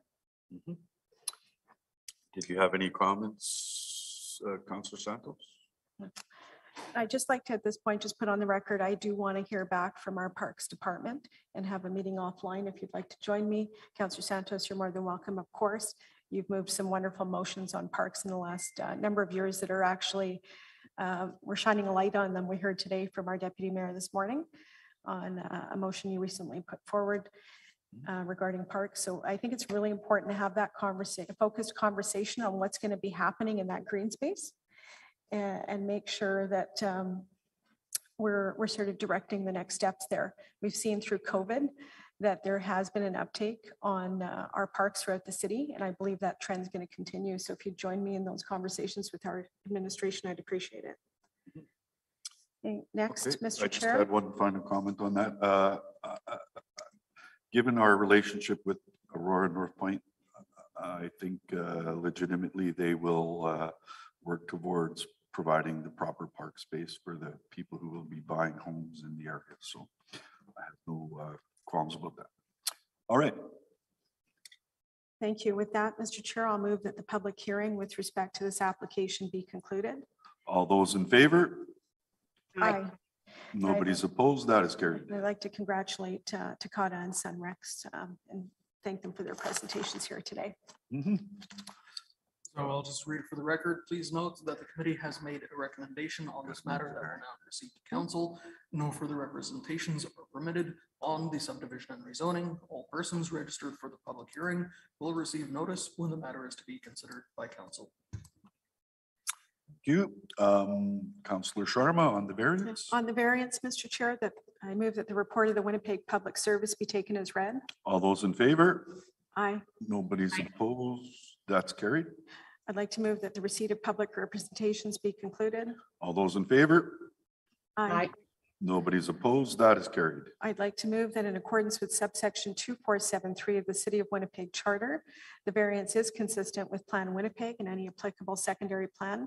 It does not create a substantial adverse effect on the amenities, use, safety, and convenience of the adjoining property and adjacent area, including an area separated from the property by a street or waterway. And it is the minimum modification of the zoning bylaw required to relieve the injurious effect of the zoning bylaw on the applicant's property.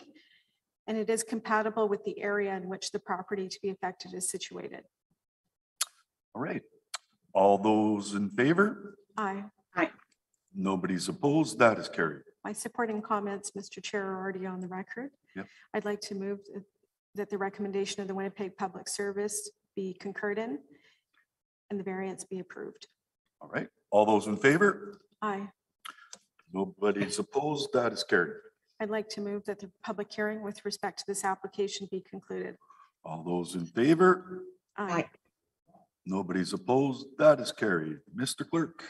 Please note that the committee's decision with respect to this application may be appealed. Should you wish to appeal, information on how to do so will be included in the order issued, which will be mailed to all persons registered. Thank you. Mr. Chair, we'll go back to our regular agenda, I guess. Uh, well, We'll adjourn the hearing meeting and Yes. uh, go back to our regular. That's the motion. All those in favor? Aye. Aye. You could just give me a moment. I'll be right Yeah, I was wondering if I can have a five-minute recess. for I my- was gonna call a five-minute break actually before we get Thank you. into report number one. Yeah. Excellent. Thank you. All right, I'll call back to order the meeting of the Lord Selkirk West Kildonan Community Committee. I introduced people twice already today, so at this point, uh, I just want to acknowledge that we're continuing this meeting on Treaty One land, traditional homeland of the Métis, uh, the city of Winnipeg, where we get our water from the Shoal Lake Band thirty. All right, so we're moving on to our administration's going to bring us a report on the COVID-19 Economic Response and Recovery Plan Framework. Important to know, this is the framework, not the details. All right, do we have Ms. Cooper, I think? Yes, Yes. Yes, good morning, counselors. Good morning. So also joining me today on Zoom should be Matt Dryberg, our Senior Manager of Economic Development and Policy. He was here Oh, earlier. okay. He has since disconnected, but if Okay. he reconnects, we'll let him in. Okay, thank you. So good morning. Um, As uh, you know, in April, council requested the public service to create a framework to assist with economic response and recovery. The motion was broad in its request, but yet it also had some very specific components. And Counselor Orlikow and Ms. Fenske have already touched on a few of those highlights this morning. but I'll just walk you through what we've done in that report. So as I mentioned, the motion had many components, including reimagining service delivery, a two-year recovery plan, intergovernment engagement, community consultation, a focus on the downtown, options to accelerate employment lands use, and then subsequently, additional components were also combined to include community centers and a feasibility analysis of rebating a portion of the accommodations tax out of the Destination Marketing Reserve Fund. So back in July, Mr. Dryberg, myself, and Ms. Fenske from the Downtown Winnipeg Biz attended this community committee to present some high-level observations on the pandemic impacts and to seek and receive feedback, which we received on the report. The framework report is tied to the principles of our Winnipeg 2045, even though third reading is outstanding. There are broad components of our city addressed, including business, residents, and downtown. And to make it easier for the reader, we did combine it all into one really big document, but the summary report is the first 20 pages. So included in the framework report is a synopsis of the financial situation of the city, including the most recent forecast to the end of the year, so that the total dollar impact of the pandemic is clearly in the minds of the readers of the report. And to recap, last year, the impact was softened by federal safe restart funds of almost $75 million. This year, those funds are not on the table, and the city's loss from the pandemic is estimated to total over $84 million. That is a significant challenge for council and the public service. There is also an in-depth analysis prepared by the city's team of economists to highlight the pandemic impact. There is a lot of useful information packed into that analysis in a lot of detail. The public service adapted its service delivery to align with the public health orders and with the way our citizens wanted us to provide service to them. There are several sections in the report, including what did we do? What will we keep doing? A summary of the work from home impacts, support we've been providing to the province to help with the pandemic response, plans for the future service delivery, plus a snapshot of some additional savings. An analysis of the financial situation of community centers is included, along with the analysis of the feasibility of providing a rebate to hoteliers of accommodations tax out of the Destination Marketing Reserve. We have included a summary of what we heard through the consultation process in two parts. The first part is the community committee's input, and the second is what we learned from community partners and stakeholders. Given the large number of stakeholders and that the downtown biz was also doing consultation, uh, Mr. Dryberg and I did get a chance to have conversations with 26 different organizations, and we are continuing those chats. The recommendation of the public service closely aligned to the downtown recovery framework, which is attached. There's merit in working together with our community partners on downtown recovery because a vibrant and successful downtown is beneficial to all of the citizens of Winnipeg, as well as to the coffers of the city of Winnipeg. And finally, there is specific information on the acceleration of servicing of employment lands. And in order to track the success of this framework, some KPIs or measurements of success are suggested, and we will continue to refine those. I want to emphasize that the recommendations in the framework report are fiscally prudent because the city's financial resources and fiscal levers are quite limited as a municipality. However, you will see there are wide ranging to assist our citizens. It's organized into four sections, tax and tax supported strategies, such as continuing the increase in the business tax exemption threshold, increasing the use or encouraging the use of the community center renovation grant program, waiving temporary patio fees, and those street closure fees for street parties or entertainment. Second section was on policy considerations such as removing barriers to bidding opportunities through streamlined and improved contract language and continuing with the equity, diversity, and inclusion policy and strategy focused on employment programs, bridging programs, and department-specific EDI initiatives aimed to increase the number of underrepresented group members as new employees of the city of Winnipeg. We also address service delivery adaptations with a focus on making it easier to do business with the city of Winnipeg and reducing red tape wherever possible, while maintaining control still. Collaboration and advocacy are encouraged specifically with Downtown Winnipeg Biz on the specific short-term plan to kickstart downtown recovery. So as I noted, there are some uh, tax-supported costs here. Estimated at hundred and eighty-six thousand dollars for the waivers of fees. And what I'll ask Mr. Dryberg to speak to is the recommendations for capital expenditures and the use of tax increment financing. So I can see his smiling face on the Zoom. Mr. Dryberg? Uh, Thanks, Catherine. Um, So as uh, Catherine indicated, there's uh, a pretty significant feature of this plan is a proposal to use uh, up to $20 million from Winnipeg's share of the additional federal gas tax uh, funds that we've received, uh, which is now the, uh, called the Canada Community Building Fund. So Councillor Santos, to your question, these are funds that Winnipeg already has essentially in the bank. Uh, We haven't budgeted for them. Um, But the plan here, or the proposal rather, is to use uh, 20 million from this, uh, this, this- these additional funds. uh, 10 of this to invest in projects within the downtown, projects that are aligned with the downtown recovery strategy. And then the proposal is to use another 10 million for, for, for projects uh, outside of the downtown. Uh, The areas that we're suggesting would be regional parks, active transportation projects, and potentially splash pad projects. Um, in addition to this capital support, uh, another significant aspect of the plan is to use uh, tax increment financing. Uh, this is a term that's often thrown around. Essentially, what this is is, is grants from incremental taxes from new property developments. Um, the proposal here is to is to earmark uh, 50 million of incremental property taxes, incremental property tax grants to support the development of affordable housing. Um, we're suggesting that uh, 20 million of these uh, earmarked for projects within the downtown, 30 million of affordable projects outside of the downtown, providing that they're built to an affordability standard. Um, The plan also includes a further 20 million of tax increment financing uh, to support sort of businesses, business and commercial developments, um, both within the downtown and elsewhere in the city. Uh, The proposal here would be to earmark 10 of these 20 for projects identified within the downtown, 20 outside the downtown. Um, So the total proposed city investments uh, in the plan from both the uh, Canada Community Building Fund uh, and tax increment financing is $90 million. Uh, That's a a big number, but it's important to note that um, uh, the biggest share of that uh, financing is through tax increment financing, which would be granted over a period of time, likely up to 25 years. Uh, So the, uh, the impact on the, on the current multi-year budget of this, of this plan would be, would be very small, if any.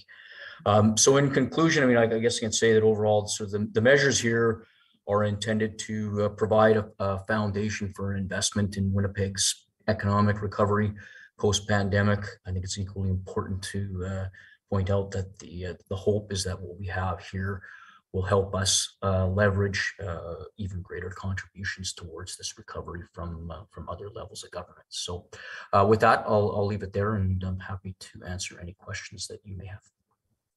Okay. Nothing more to add, uh, Ms. Kloepfer? No, that's it, Counselor. Now we're looking for your feedback as a community committee to. Great.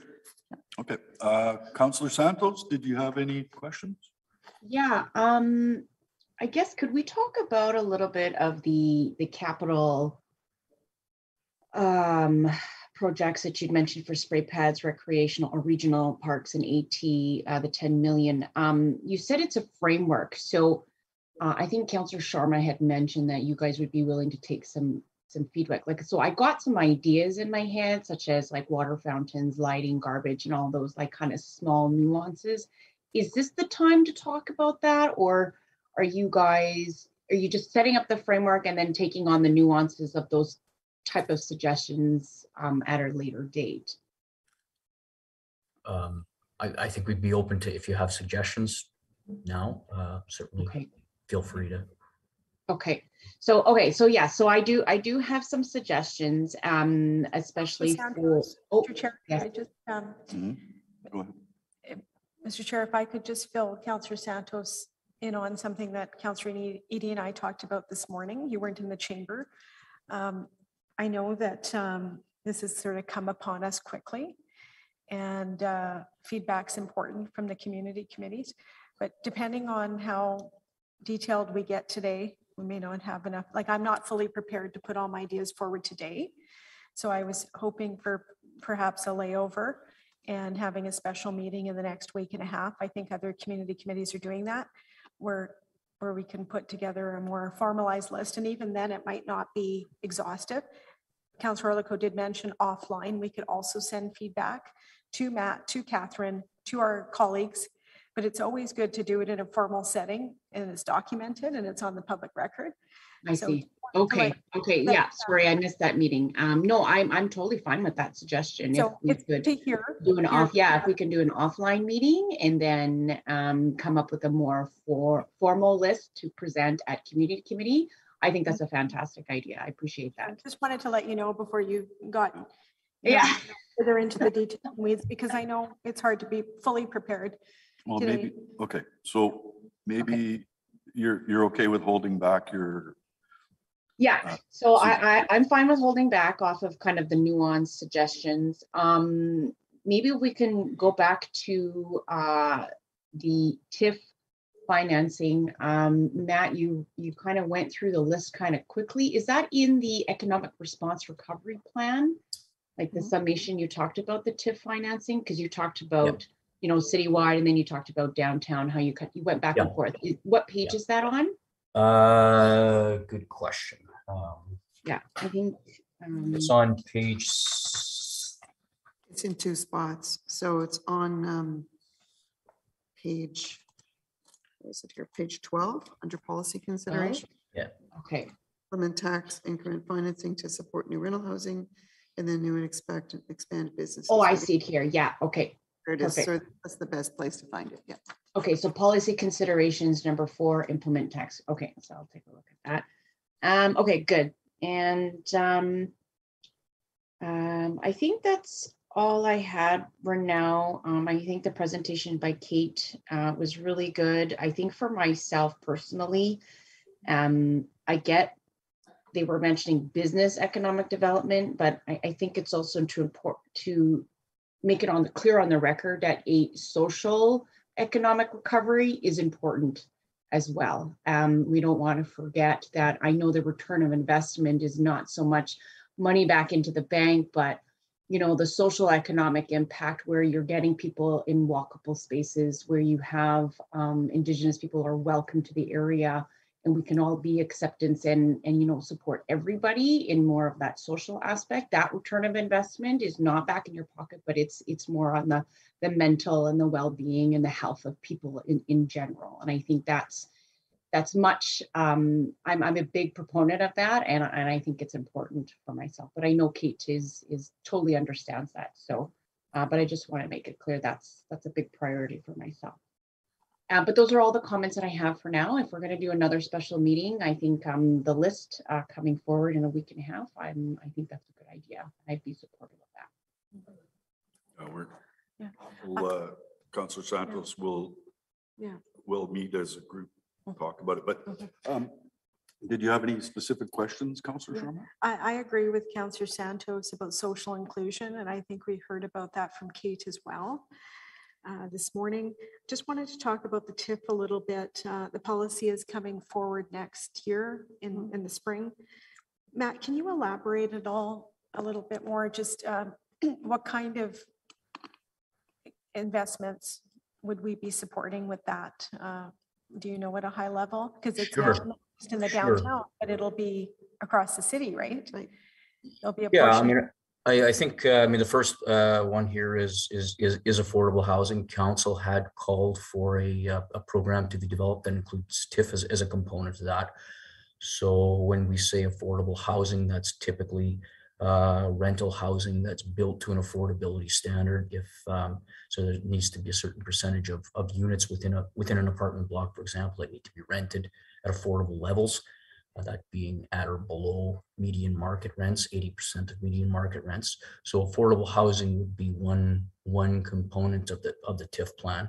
And there's a need for that across the city, not just downtown. Um, So the, uh, the proposal here would- would be to do that across downtown. Um, The second component of, of the TIF would, would probably be a combination of, of, of a few things. Um, There has been a lot of talk about business developments here the city's had some success with, with what they call strategic economic grants over the last uh, decade, I would guess, to uh, help businesses grow and expand. That would be one component of it. Um, But there certainly could be other, other developments that could be incentivized. Um, My plan would be to uh, try and align those incentives with the priorities that uh, council has identified in our Winnipeg and complete communities. So uh, we do, we do need to do a little bit more work on what those are, but that would be the, uh, that would be, that would be the plan. Uh, kind of all within a framework of, of a funding envelope there I, that I've identified about fifty million for the housing and twenty million for some of the other, ins- other uh, developments. Okay. Uh, Counselor Summer, can I, can I tag you uh, on that affordable, affordable stuff? I don't know if you're going to go on to another one, but. Go um, I- ahead. Yeah, I just want to add some comments, Matt, um, about affordability. And I, and I see that where you've mentioned that meet or exceed CMHC's definition. And we all know CMHC's definition of affordability is not, you know, it's very broad. Um, and I like to think that it's not affordable for certain people, if especially if you're not on a living wage, which is $15 an hour. So let's say you're a single parent that's working at you know, McDonald's making twelve dollars an hour and living on your own, they're not able to actually rent from an affordable CMHC category because eleven dollars or twelve dollars an hour is technically not enough to actually live on your own. Is not an affordable. So I'm, I'm hoping, and I just want to make some comments on the record that when, when you're talking about affordability or CMHC, want to be cognizant of what you're considering affordable because our living wage, like I said, is fifteen dollars. That is kind of the standard that you could live in an apartment, you know, purchase um, food, uh, I guess bus tickets and so on and so forth. But we need to also think about the people who are are only working at minimum wage, right? Um, who, you know, we got. I think if we can tie in maybe the poverty reduction strategy, I don't know if that's what you're going to be doing, but I think it's important to understand, you know, the real root issues of affordable, uh, especially for those who are living in poverty. And if we're really trying to target the ones that are coming out of homelessness and working at $12 an hour, I think that really needs to be highlighted uh, for, for the city. So, um, yeah, like, uh, hopefully that makes sense. Yeah, no, it does. Uh, I mean, I think one of the, uh, one of the things we're hoping to do here is we want, we want to use this to hopefully leverage more support from senior levels of government, right? From CMHC and, and, and, and, and, maybe the province, right? Um, Providing a TIF isn't going to close that affordability gap, but it's, it's one tool. It's, it's kind of the city's tool that it has available in order to do that. So that's, that's kind of the, the thinking in this is that this would be the city's contribution towards a larger affordability package that would be supplemented with more money at, uh, from other levels of government. Okay, that makes sense. Thanks. Um, You have more questions, Counselor, Sun- uh, Counselor Sharma? And Matt, I know it's been asked already, um, but I'll ask it once again. The, there's a certain amount of funding that will be directed downtown and the remaining may or may not touch each ward specifically. Um, Is that sort of what we heard at other committees and earlier today? Yeah, I mean, what we, well, what we're proposing uh, on the capital side, for example, is, is, is to do some targeted investments of, of up to ten million dollars in the downtown and then ten million for things, for things outside of the downtown. I think the, the logic there was to, to have some, some equity. Uh, What, what, what that ten million outside of downtown will comprise, um, I think that that's uh, sort of. Before. I, I just want to put on the record, I, I think if we look closely and speak to each ward counselor, there, there is something to be found in each ward across the city of Winnipeg. And I would be quite surprised if we weren't able to do that. Um, It may not be an equitable distribution entirely of the money uh, divided by 15 or anything like that, but I, I think it's possible to work with each counselor, get their input, and do something that they can deliver to their residents. Because the pandemic that we're in, each, each resident has been affected by it, everyone across the city of Winnipeg. So here, we're trying to put a focused effort on lifting everyone up, lifting our city up. That means everyone. I just wanted to put that on the record and, and how those details uh, get crafted remains to be seen. Uh, But I do feel very strongly about that.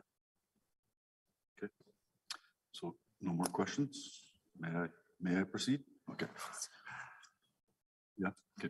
Um, First question I had, uh, Ms. Kloepfer, you, I think the first line was service delivery changes or Yes, service. can you Yep. e- explain that a little more to me? Yeah, um, the motion from council asked how could service delivery be re- reimagined? And so we went through each department and presented to council all the things that have already changed because of the pandemic. What are we still looking at? What are we going to keep doing? So for example, some um, police reports are now done over Facebook or maybe not Facebook, FaceTime, sorry, to make it more efficient for both the citizen who's recording the complaint and the police. And so since it is more efficient, that's something that will likely stay. That was an adaptation during the pandemic because officers couldn't go into people's homes to take those kinds of reports. Mhm. So that's one example. What we're focused on as, as we make changes right now, we're trying to find ways to be more efficient using online forms. So sometimes our forms right now, you have to print it, fill it out, and then fax it back or mail it back. So we're trying to find ways to make them all fillable forms online. You can submit online. So we're trying to make it easier to do business with the city for citizens. So that's an example of what we're talking about with Mhm. service adaptation. Can I uh, So, add to that after you're done? uh, sorry, what? Can, can I add to that after you're done? Yeah, I Yeah. just had a quick, just. So this isn't the traditional capitalist, uh, private sector look at efficiency. We're talking about delivering the same level of service, but in a better way. Is that correct? That is correct. Okay, I don't, I don't want to hear, I'm not we looking for heard cost efficiency, savings. I've I'm heard look- efficiencies. W- uh, Public Works had an efficiency in two thousand fifteen, which was, we're gonna get rid of the fall sweep. Where, really what that was is a service cut, right? Not a, Yeah. wasn't an efficiency. Understood. What we're finding is, is there a better way to do things? And how can we do things in the way citizens want us to provide service? Okay, uh, Counselor Sharma? go ahead. Yes, um, Counselor Eadie, thanks for mentioning the reimagining service delivery.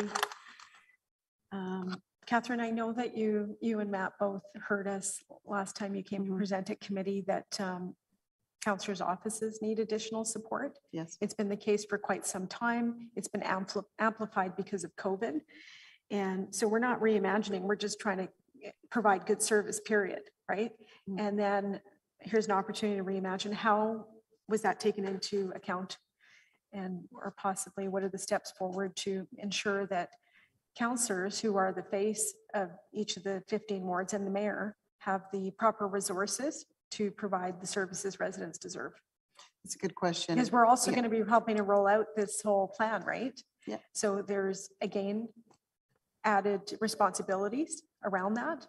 And it's so wonderful that we're going to each community committee to get the input. But how do we make sure that everyone has the resources necessary to roll out appropriately and properly over the next several years? Yeah, and that is a good question, and I'm aware that that actual, um, there's been a budget referral. I think there's four separate components of that that is being reviewed right now and will ultimately come back to council, right, for any specific funding. So that's, we didn't want to double up on things that were already being addressed. So it's not specifically in this report, but it would be part of service delivery, yes. And I understand that, yeah, it's Yeah. not part of this report. I've often seen in nonprofit, uh, in various sectors and here at the city of Winnipeg as well, when you're doing a project, there's admin costs related to it. So that's Mhm. something you could possibly take into consideration here, right? It always costs uh, time and money, energy to roll anything out. Uh, We've seen that throughout city departments. Is that not the case? Yeah, you'll see that in, in a lot of reports lately, right? There's a policy framework, and then if you want to implement the policy, how are we going to achieve that? And there's usually some options, Right. so. There's cost centers. It's, it's in business. It's done that way, nonprofit. I've come from those sectors in the past. mhm. And so, yes, it may be in the budget, but I think we have to have the conversation everywhere. And um, I, I've heard from many of my colleagues, they, I, I think they feel the same in the additional support that's needed. And it's not, I don't want to even say additional, it's support that should have been there for, for a while now. we're lagging behind. Uh, Many years ago, this sort of been- should have been remedied. There's been a report uh, that's been put on the public record that we are the lowest funded per capita across city, uh, across Canada in terms of support for the elected officials. So I hope that's going to be addressed. Otherwise, it's going to be very difficult to roll out the plan that we need to collectively uh, be a part of. Making a note of that, thank you. Thank you. Okay, can I, can I continue? Um, that's, uh, on the service. Uh, The, um, so I think it's in the exchange, yeah. So, um, this is in regards to the incremental financing. So when we look at that affordable housing, uh, I noted that, uh, executive policy uh, deferred making a decision on a grant structure for CentreVenture's implementation of across the street where they're going to be building affordable housing as well as uh, commercial. So that would be the source of money being used to help promote that project? Um, to your question, Councillor Eadie, I mean, I think, uh, I think council has actually approved a, a TIF for the, uh, for the market lands. Um, so that decision was taken some time ago. Uh, it was a twenty-five year, a twenty-five year tax increment financing arrangement uh, of hundred percent of incremental uh, municipal tax. Right, so this report that was on the Executive Policy Committee uh, meeting in October, that is not associated with the TIF that council said to go ahead with? I'd have to go back and see what the details of that are. I, thi- I think it was a, re- just a report back with some information, but I can, um, I can look at that and, and let you know. I what's, think uh, it was, a there has to be a bylaw, I think, in place for, Could be, yeah, could be. and that's what was deferred, I don't know why. Anyway, Yeah. um, but that's the kind of thing, right? If there's new projects coming along that haven't received that kind of support from the city, this new incremental financing policy is going to be consistent then with the two components, affordable housing and economic development, which is the provincial uh, road that's being taken uh, with their, uh, well, who knows if it'll exist in the future, but with their uh, incremental financing uh, uh, setup, it's mostly economic development. Is that right? Yeah, yeah, I mean, that would be, uh, from my perspective, that would be the, the starting point to, to look at designing our, our economic, economic development incentives. Yeah. No. We do, we do want, uh, to the extent possible to, uh, uh, get matching support from, from the province and, and the federal government to help. Right. okay. Um, I just want, uh, just um, clarification. I did, I did talk to the deputy mayor, uh, Councilor Orlikow. Um, but so economic development now, well, I'll give you, let's look at a real example that's about to happen. So the market lands, they're building affordable housing at the main floor. They're building commercial space, which will have some room for maybe a not-for-profits, whatever. I think one organization said they'd be moving in when it eventually gets built, but uh, just building empty commercial space, that wouldn't qualify, would it? Um, well, I mean, if we're building, if somebody's building commercial space, I guess they would build it with, with the, in- with the intention of, of filling it. Um, sort of the mixed, the mixed use concept, particularly downtown, is one that's kind of makes a lot of sense, right? Where you have commercial on the main floor and, um, and residential, a mix of in, mixed income residential, uh, on the, on the upper floors. Um, so that would be certainly something we would, uh, we would look at within, within the context of rolling out this program. But if, so if they have a, a business that's actually willing to open up in there, that would make their, that would make their application much better, right? Because a a private Yeah. enterprise. Yeah, yeah, and I mean, if they, if they were to include an affordable housing component in it too, that would make it even better. It's kind of a- Wanna, we wanna align our incentives to try and achieve the outcomes as best we can here, right? Uh, I think that's good clarification on that. No, I'm just struggling to figure out how ten million worth of economic development incremental financing would work in the Mynarski ward. Uh, But I'd imagine if, what if a, what if a retail store wanted to put an addition on, for example? uh, Would they, and that would add value, I mean, that would up their property taxes, so would they be eligible for? I mean, it's, it, it, it could, I mean, I think what we'd probably want to do is establish a threshold for uh, consideration of some of these investments, like TIF works only is, is most effective when you're dealing with fairly significant investments, right? If you look at the provincial program, I think their threshold uh, is ten million of investment, so that's, I'm not saying that's appropriate here, but that, that could be something that we would, we would look at. Um, and we probably want to look at targeting this to sort of the priority, priority areas in, in, a- that are identified in our Winnipeg. uh, to achieve some. That deal hasn't, hasn't quite been set. So, for example, Councillor Santos moved a excellent motion passed by council where there's going to be an expansion in South Point Douglas. Um, I think that's probably worth ten million. Anyway. I, I, I don't know, I don't know the answer to that, but um, if it is, I guess, Uh, I don't think they're asking for uh, subsidies anyway. I think their, their business model and practice is going good. Uh, But so potentially then, like I have the, actually, the in- uh, Dufferin Industrial and uh, both Counselor Santos and I have sort of industrial along each side of the railway. And there are some current vacant lots and stuff. So potentially any business who wanted to build a building for, you know, an M1 uh, kind of practice, that would be supported, right?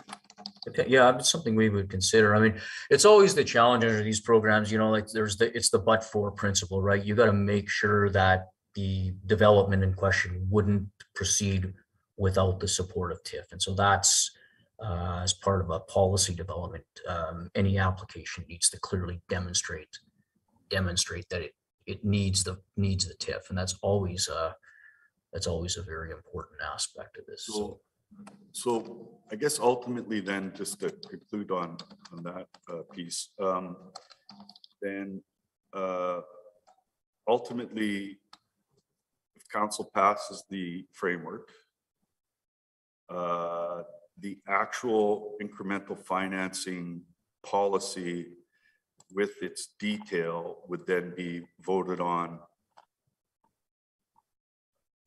Like, would there be a second vote on that? Uh, the intention or the proposal here would be to come back with a report um, outlining the details of a policy that uh, council's consideration and do that probably in uh, March twenty twenty-two. Right, so this framework, we're looking at passing before the end of the year, Yes. twenty-one, and then there'd be a detail uh, report that council would still vote on, right? Okay, So good. Counselor, just to, to clarify in the admin report that's going forward, there's three different things that we're asking for. One is that the plan be approved, like the framework. Second is that the strategies that need financial resources go to the budget process. And third is that we'll bring back the tax increment financing policy in March. Okay, what was the second one? Sorry. Can you say that again, Catherine, the whole? Yeah, I'll read it. That Okay. the strategies listed for consideration in the economic response and recovery plan, which require additional financial resources, be referred to the twenty twenty-two budget process for consideration. Great. Okay. So Right. the items that we're talking about this in, rep- in this report will go to the budget process. So they will be rolled into the budget or not necessarily. It could, well, we heard earlier from Councilor Orlando, it could be in the budget or it could be a standalone report. Right, so the, the thinking was, given this is going down the track at the same time, parallel, we would put a placeholder in the budget for those two big chunks of gas tax. Right. And then the details could be worked out with the community committees over the next Right, couple months. Sure, and the details almost have to be worked out separate from the Right, budget because otherwise this process um, isn't going along how everyone envisioned, of course, because we're starting at community committee, then going to budget working group and then kind of leaving it there. So I'm, I'm happy with that. Okay. And just on that note, I wanted to thank you both and your teams for all your work. Uh, There's a ton of work that's gone into what you presented last time and, and the reports you've presented today. So I know it's appreciated and, and you don't have all the answers and that's why we're going through the- this process, right? Yeah, So you. thank you for being here. Thank you for listening. And thank you in advance for delivering. I'll put that out there. Well, thank you for listening. I wasn't It's a quite- process. I wasn't quite finished. Sorry. Well, I'm not done either, so. Yeah, no, I, I have some, anyway. uh, It sounded like you're clo- Mm-mm. closing it. out. I was just Uh, thinking it because we often forget to say that, and so Yeah, yeah, no, and, saying that. and we all really appreciate the work the admin does in, uh, in the face of, uh, great difficulties. Um, I just had, I guess, one more question. Um, like I heard the three categories in terms, and that would be, uh, those are budget dollars that we're talking about. Um, that would get referred. Um, we have this problem in that in order to balance the four-year budget, um, and this goes to, you know, businesses suffering and then, and then you have NGOs who uh, we have not-for-profits who are trying to serve people uh, with great levels of stress. Is there, um, like, in that budget though, we got, basically, the community incentive grant program is zero. I think for next year in twenty-two. Now that community incentive grant money often is utilized by um, not-for-profits to make their facilities work better uh, for the people that they serve and so on. And, uh, you know, there's a fair amount of money involved in doing that kind of renovation and, um, and sometimes expansion. Where, where would something like that fit under what you have as a overall plan here, Well, uh, no- framework, sorry? Yeah, Counselor, I- that's a good question. I don't have the terms of that program in front of me. Matt, are you, do you recall the specifics of that program? Uh, well, this, uh, I think the recommendation that we had was to, um, look at relaxing the fifty percent cost matching requirement. uh, For the for- community centers, yeah, but for Community centers, yeah. Counselor, you're Uh, talking about something beyond I community. think, I think this is something different. Yeah, I don't, I don't think we specifically addressed the program that you're talking about, Counselor. Technically- Technically, community centers are able to apply for community incentive grants. Yeah. So, so are organizations like the North End Community Renewal Corp., the North Point Douglas Women's Center, the North End Women's Center, and so on and so forth, right? So um, that fifty percent, is that related to the community center grant? yes, that's the community center grant, so that's a That's for capital, that's for capital grants. Right. And, So and we didn't. community spec- center grant program is a, is a cap, it's a capital Yes. budget item in our overall city budget. Yes, Could I, could I tag on to your comments there, Counselor Eadie? Um, Yeah, go ahead. I, I think I know where Counselor Eadie is going with. So some of the troubles that I'm having in, in my office when I have um, a lot of nonprofits and community-based and grassroots and indigenous-led communities that come out and saying, hey, we're looking for some funding.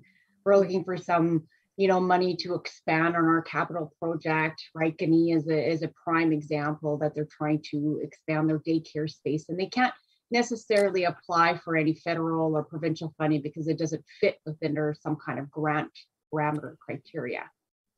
Um, and then when I did a little bit of research, I was noticing that um, even ourselves as a city, we don't have a way to provide capital grants to nonprofits. It has to usually be within our own scope, like the, the buildings that we personally own, right? Like the, the recreational facilities, the GCWCC mm-hmm. facilities, libraries, pools, oh, so on and so forth. Those are the type of capital dollars we're able to fund, you know, through either debt financing or through the capital budget. But I think if, correct me if I'm wrong, Councillor Eadie, I think you're looking to expand that scope to certain other um, projects outside of city scope. So uh, I want to take WAG as a prime example. We spent $5 million. It's not under our jurisdiction, but um, we funded them and we gave them a $5 million capital grant. And they're- not owned by the city.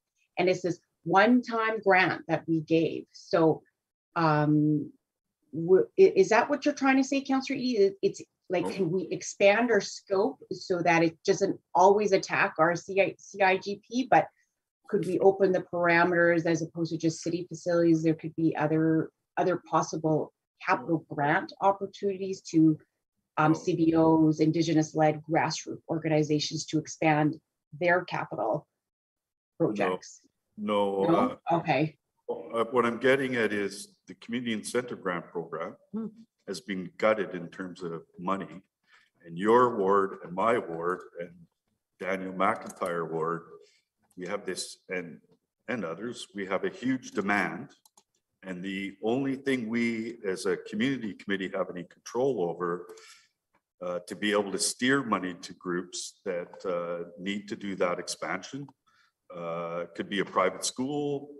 um, As long as they're not for profit, they qualify. And technically, if you wanted to, and I've done this before, if there's a organization that wants to do, say, a big community art mural, um, they can leverage money from uh, the Winnipeg Arts Council, but they can also apply for some funding through the Community Incentive Grant Program as well, if you have something available. And so, uh, anyway, so I'm just saying in the, uh, and I didn't vote for, I voted for one of them, but uh, from my perspective, gutting the Community Incentive Grant Program is a real bad thing because community centers do qualify as well uh, for that, but uh, they've been using the uh, new grant program that was originally started through uh, the former mayor uh, back between 2010 and 14. Um, So what I'm getting at is uh, there's a struggle. Community centers are struggling, but also we have a whole host of NGO, not-for-profits trying to accomplish things. And uh, they, you know, like, I'll give you an example. North Point Douglas Women's Center at this point, their uh, participants, it, their, their facility is nowhere near what they need now. So if they were going to, say, purchase and renovate a new property, they could apply for a community incentive grant program. Anyway, and they're helping uh, the city of Winnipeg and the people that live in it, whether they live on the street or in houses, uh, they're doing it. Anyway, I just was trying to figure out where that would fit in this framework, if it fits at all. Yeah, we did not specifically refer to a counselor, so that might be something you guys can discuss as the community committee. Okay. Right. Counselor Eadie, could I, Yep. Just add Anyway, that. I'm, uh, that's all I have Yes. on, on the framework at this point. I'm also concerned about the CIGP grant program. And I think this is a good place to bring it up.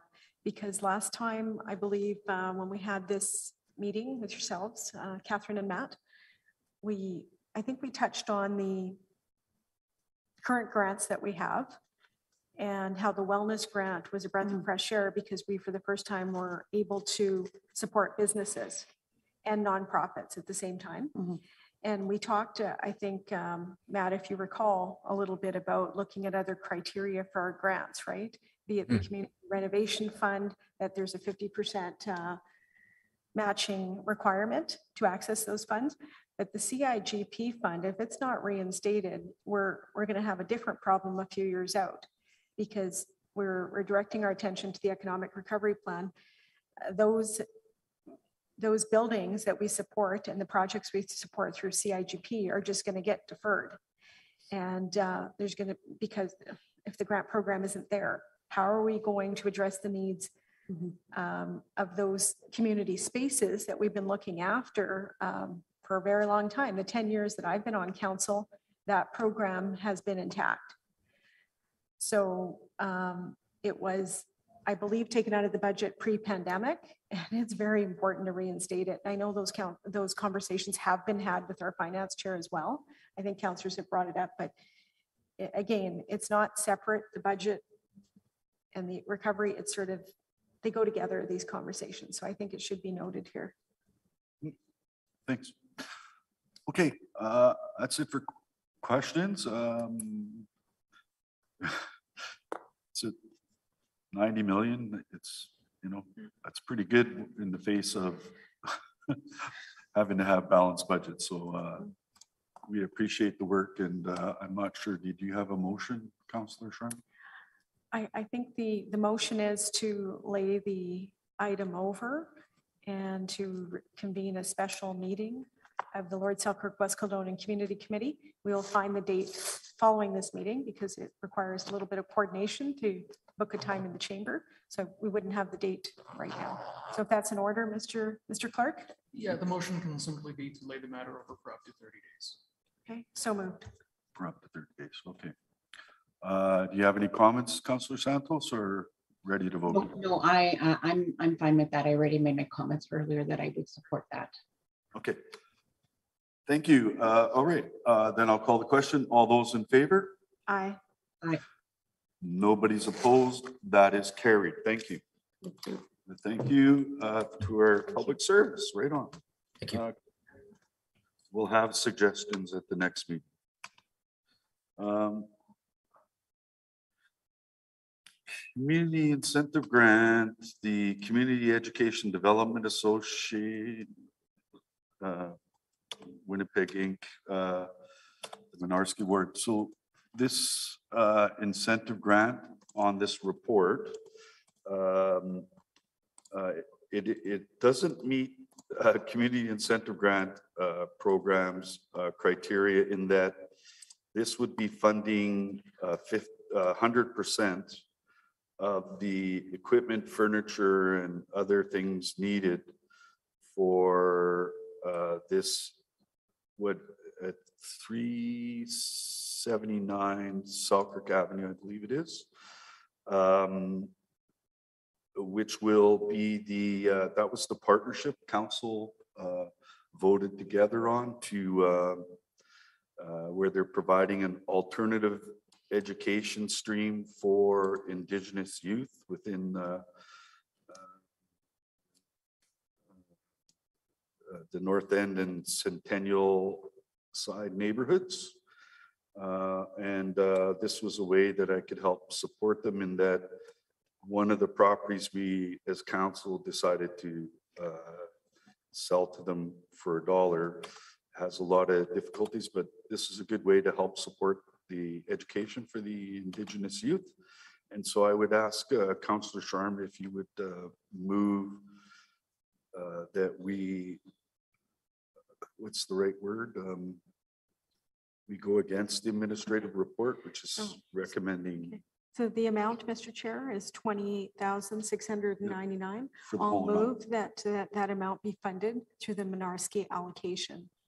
Uh, Counselor Eadie, I have a question about that. Is, is that the only amount that they need? Because I see the total project is seven hundred and thirty-two thousand, but they're only asking for twenty-eight thousand six hundred ninety-nine? Yes, that's right. And so uh, it's a very complex situation in that their whole, pro- like, they have other streams of money to build the building and wanting to provide support. However, uh, as you know, under the CIGP, you need to have this many quotes and whatever. And that partnership has already had a builder, developer, architect. It was all in place before anything moved ahead. So uh, the difficulty was like for the furnishings and, and those sorts of things in the common rooms. uh, So that is it was furnishings, Mr. uh, re- yeah, Mr. that's- Chair, that you're, that Yeah. you're proposing be funded and the remaining fund, funding, is it all in place? Well, yeah, they got, they got money to build the building. yeah. Well, that's great because that's, a That's huge- what I'm- it's a huge project. That's all I'm saying. Yeah, I think Councillor Santos is wondering the same thing. It's a big project and they want to finish it and they're asking for the support from you. So I'll move the amount that you indicated, twenty-eight um, thousand, six hundred ninety-nine, be approved from the Mynarski ward. Thank you. Uh, I'll call the question. All those in favor? Aye. Aye. Nobody's opposed. That is carried. Thank you. And Uh, so just for clarity, that item will have to go up to council for, uh, for approval. Yes. uh, And go through the Standing Policy Committee on Protection, Community Services and Parks. That's correct, yeah. PCSP and then council, right? Yep. Okay. Uh, let me just, where's my reports? Three, addition to the Lord Selkirk West Kildonan Community Committee Street Name Reserve. Mr. Chair, uh, there's something that I need to do to connect with the, the applicant, and I haven't had a chance to do that, so I'd ask for another layover, please, 30 days. This is, how It's many the- times can we lay it over for? There's no, um, there's no amount. It's, it's not a public hearing. Okay, so we're laying this over to the November Yes, 29th, please. 21 meeting? Thank Okay. you. All those in favor? Aye. Nobody's opposed, that's carried. Four, request for new street names to be added to Lord Selkirk West Kildonan Community Committee. same thing with that one, Mr. Chair. Just haven't had a chance. Yeah. It's a So again, busy we're time, moving so I this will to connect with them, and there's no urgency as I understand it. Thank you. November 29th. All those in favor? I, Nobody's opposed, that's carried. Five is the Development Agreement Amendment, DASZ twenty, uh, sorry. Report number five, sorry. Thank you, Mr. Chair. This one uh, also need to have uh, some consultations with the residents in the area. And the applicant has provided some, uh, a letter for my office to review, and we, we we will be doing that shortly. So a layover, please, for 30 days. All right, all those in favor? Aye. Nobody's opposed, that's carried. Six, uh, citizen member appointments, Lord Selkirk West Kildonan Library Advisory Committee. Counselor Santos, would you like to move that? Um, I'm just going to, Peter, I don't think there were any, were there any applications? Terrace, uh, Terrace uh, Matula, I think, if I pronounced it right. Uh, That's right. We had the one application, which was Terrence uh, Makalek or Michalek. Okay, and then is he going for, for the two-year or two citizens for the balance of two-year? Yeah, it's up to the committee for which term you want to uh, appoint. I would say it's probably because you have the option, might as well go for the full two-year term expiring December thirty-first, twenty twenty-three. Okay, um, if, so if you could read into the record, uh, exactly what you suggested and the name, and uh, I'll move that. Certainly, uh, that the following citizen be appointed to the Lord Selkirk West Kildonan Library Advisory Committee for a two-year term expiring on December thirty-first, twenty twenty-three, and that person will be uh, Terrence uh, Makalek. So moved. Uh, Yeah, uh, all those in favor? Aye. Nobody's opposed. Terrace will be a good one. Uh, I think we're into the Seven Oaks House Museum. Uh, Could you, I'm just trying to find the motion here. uh, Where is it here?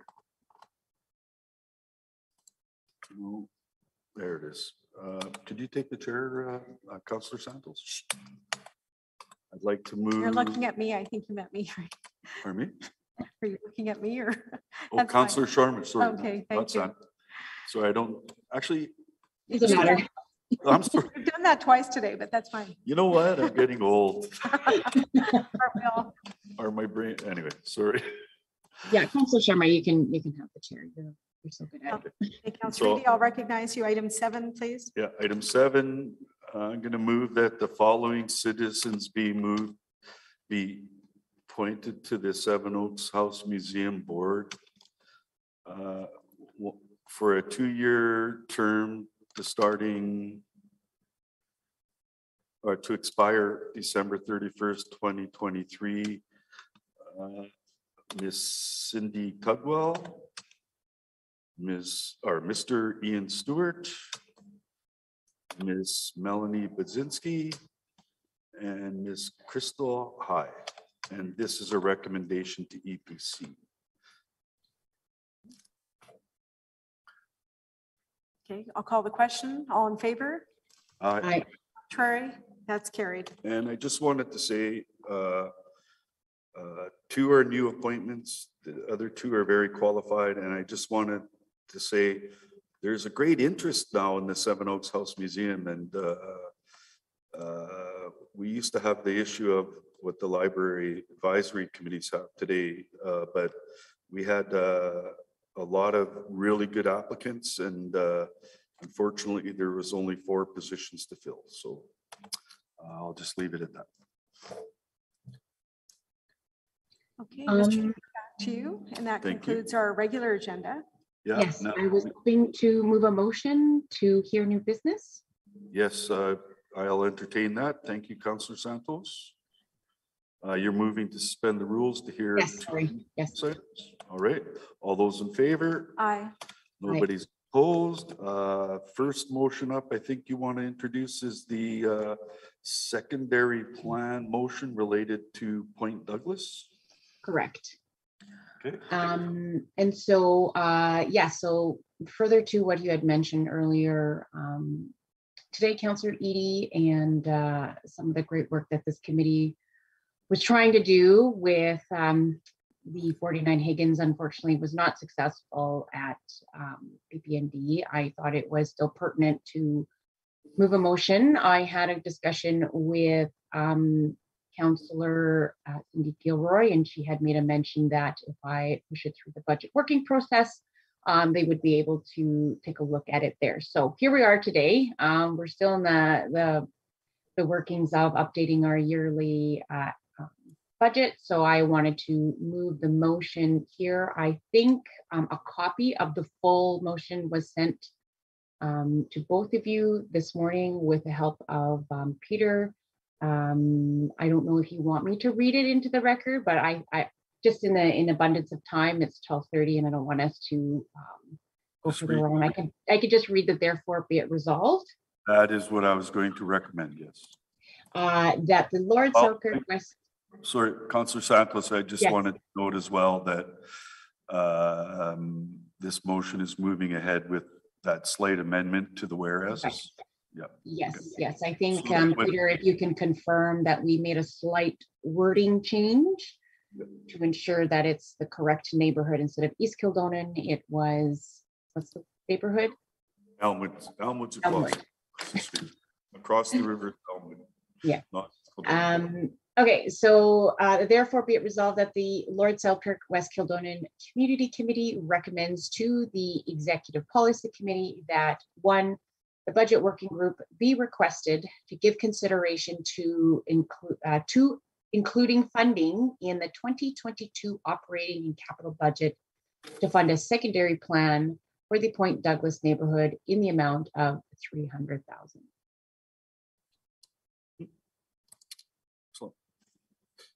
Good motion. Did you have anything to say, Counselor Sharma? Not at this time. I'll be supporting the motion. Right on. Excellent. Thank you for the background information that you did speak to colleague and uh, there was a su- suggestion to put this forward. Great. All right, then, I'm going to call the question. Uh, Did you want to make any other comments, Counselor Santos, or no? No, no, it, it- it's fine. I just, I don't want to have to, re- yeah, repeat everything that I've already said. I'm just gonna have to make my presentation to Want EPC to, I want to thank you for your, I want to thank you for your diligence on this and uh, being inclusive of, of what uh, everybody calls the point. Yes, And you've made your point regarding. All right, all those in favor? Aye. all right. Nobody's opposed. That is carried. Thank you. And now we have a new business in relation to the Tyndall Park uh, Yes. Communities Center. Yes, so um, this one I will um, read into the record. I think It's in- it's important to realize a bit of the background context. I had a phone call with um, one of the res, a couple of residences and um, the field manager over at Tyndall Park mentioning that the pandemic has been um, very difficult and challenging to book space actually for after-school recreational activities. So I don't know if you're aware, but Tyndall Park is a bit different. It has a, a joint use agreement with the community school. Um, I think there's a few of these across the city. Um, and unfortunately, with the Winnipeg School Division, um, they've actually are only issuing permits to uh, within their own school and and uh, some other sports associations. So it's been very challenging to actually find practice space. Um, and then, of course, this area is a very growing neighborhood. Um, so I'm going to read uh, the motion into the record. Um, whereas Winnipeg School Division Number One is currently issuing permits to city community centers due to the COVID-19 pandemic restrictions, or sorry, is not currently issuing permits. Um, and whereas other school divisions confirmed their permits are fully booked with their own school programs and other sport associations. And whereas during the COVID-19 pandemic, there has not been sufficient recreational space in the Tyndall Park neighborhood for after-school programming and adult activities. And whereas Tyndall Park is a mature, growing neighborhood that serves new, young, diverse families, low-income and hardworking families and seniors. Whereas the GCWCC Plan 2025, Lord Selkirk West Kildonan District Plan state that a total, there is 235,000 square feet of recreation space to serve a population of 136,000 or 1.74 square feet per person. And the LSWK district overall has access to less space than any other areas of the city. And whereas there is approximately 100 school-age kids that will not be able to practice during the upcoming winter recreational season due to the COVID-19 pandemic restrictions imposed by the Winnipeg School Division Number One. And whereas practicing sports is imperative for the development and mastery of the sport, most sports recommend practicing two to three times more than playing the games. And games are for when you want to display the sport. And whereas Tyndall Park residents and surrounding communities desire to have an indoor gymnasium space to fulfill the ever-growing need for recreational activities for kids, families, and seniors, as well as wanting proper space for games and social gatherings. And whereas the province of Manitoba provided a feasibility study grant in 2018 in the amount of $100,000 to the Tyndall Park Community Center to prepare a class five estimate for a new gymnasium, which was finalized in January of 2020. And whereas the study resulted in a design recommendation for a 10,780 square foot addition with an estimated cost of 14 million.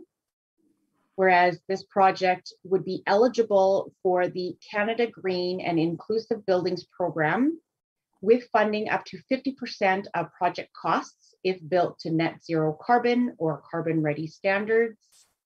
And whereas capital budget dollars are needed to continue the city's recreation, leisure, and library facility policy, which will assist with the funding of the new gymnasium at Tyndall Park Community Center and will access further financial support from the province of Manitoba.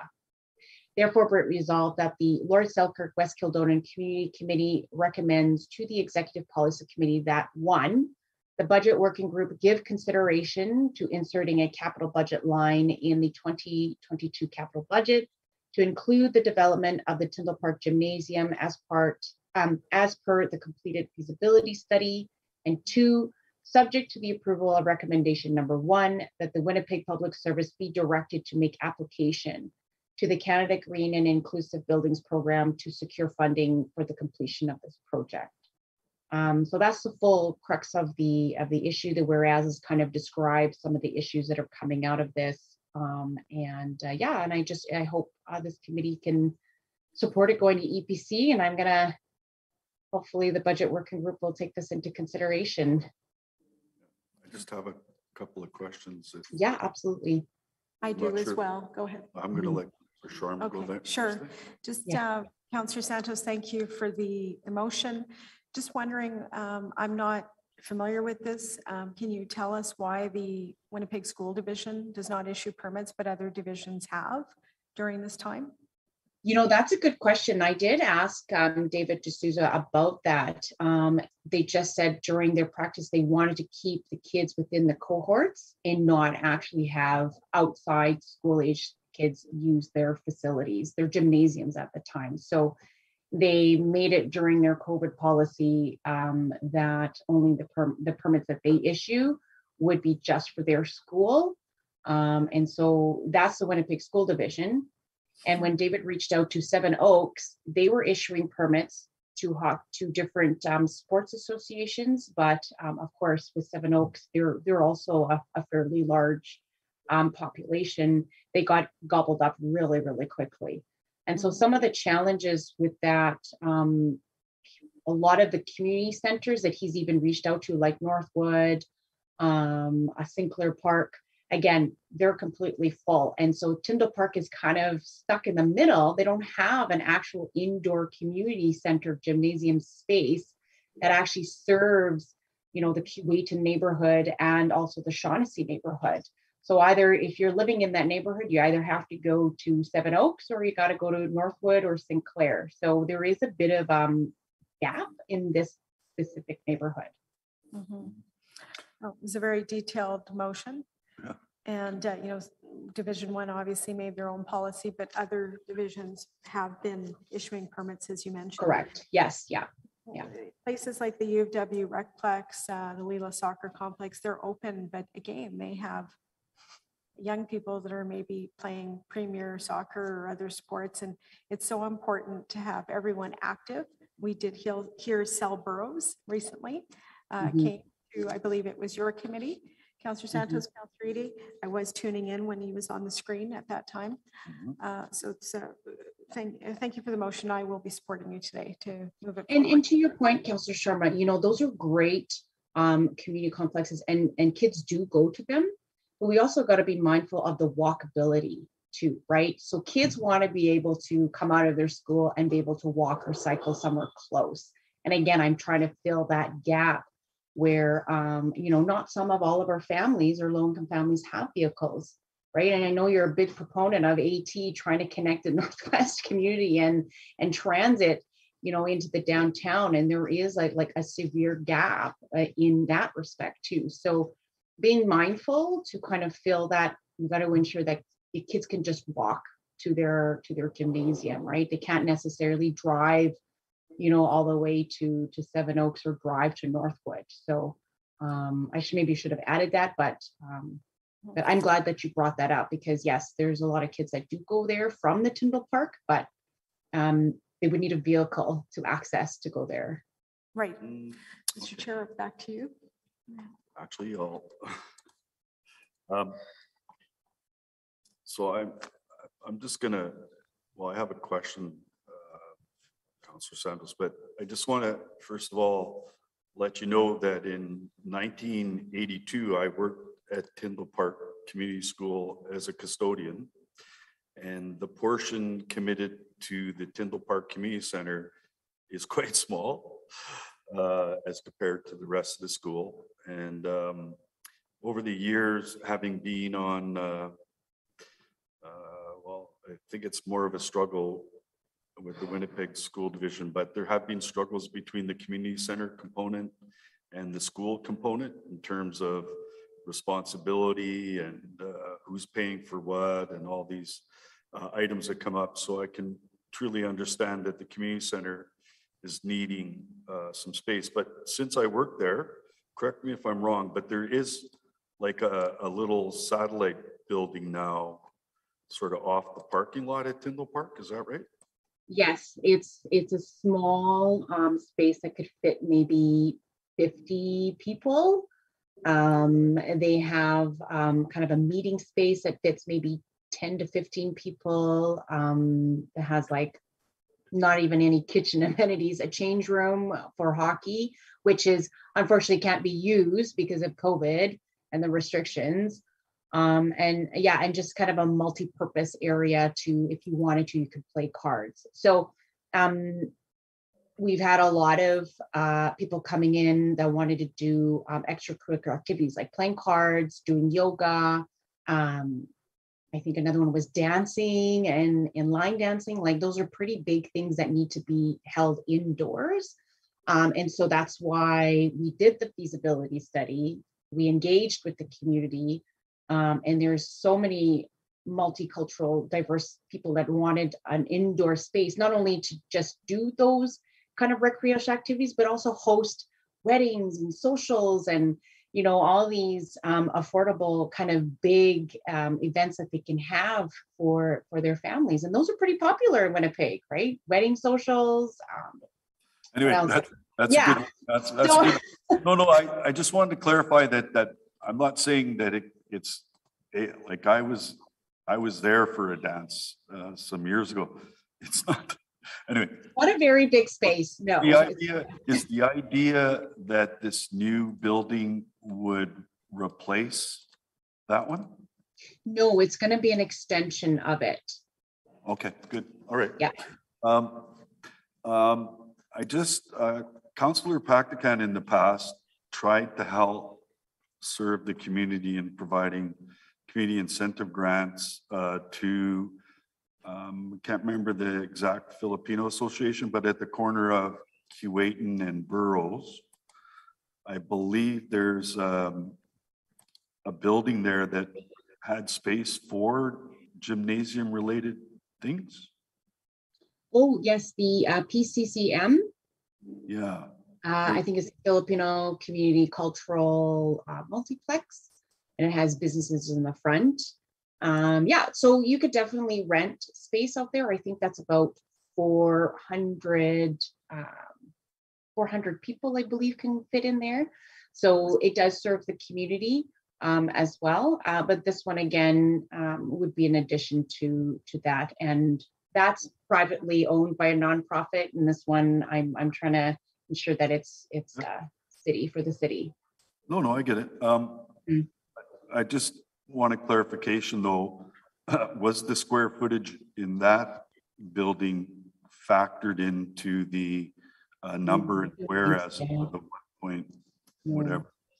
Was that? I'm not factored too in? sure. You know what? That's a good question. I'm not too sure if it was included in the GC WCC Plan 2025. Uh, I, I would like to think that GC WCC is just strictly the community, the volunteer run community centers that is owned by the city and that not, not entities that are outside of city, city scope.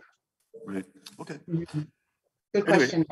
I think it's a good, uh, I, I love Tyndall Park Garden Grove community because actually that community center is serving Garden Grove as well.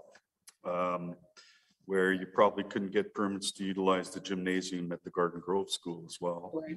And same thing with Shaughnessy. Shaughnessy is another one, Shaughnessy High School, that's like literally on the other side of Keewatin. They don't have any space either in the Inkster, indus- in the Inkster area too. Okay, any, Mhm. good motion. Good Thank you. motion. I'm gonna call the, uh, the question on it. Um, all those in favor? Aye. Right. Yeah, uh, I'm all for it as well. Uh, therefore, nobody's opposed. That is carried. Thank you, Counselor Santos. I think that's it for new business and Yep, that don't have means anything. that That was Counselor it. Is gonna move adjournment. So moved, Mr. Chair. Thank you. All right, all those in favor? Aye. There we go. Thank you, uh, Mr. Clerk and all our city administrators here helping us out.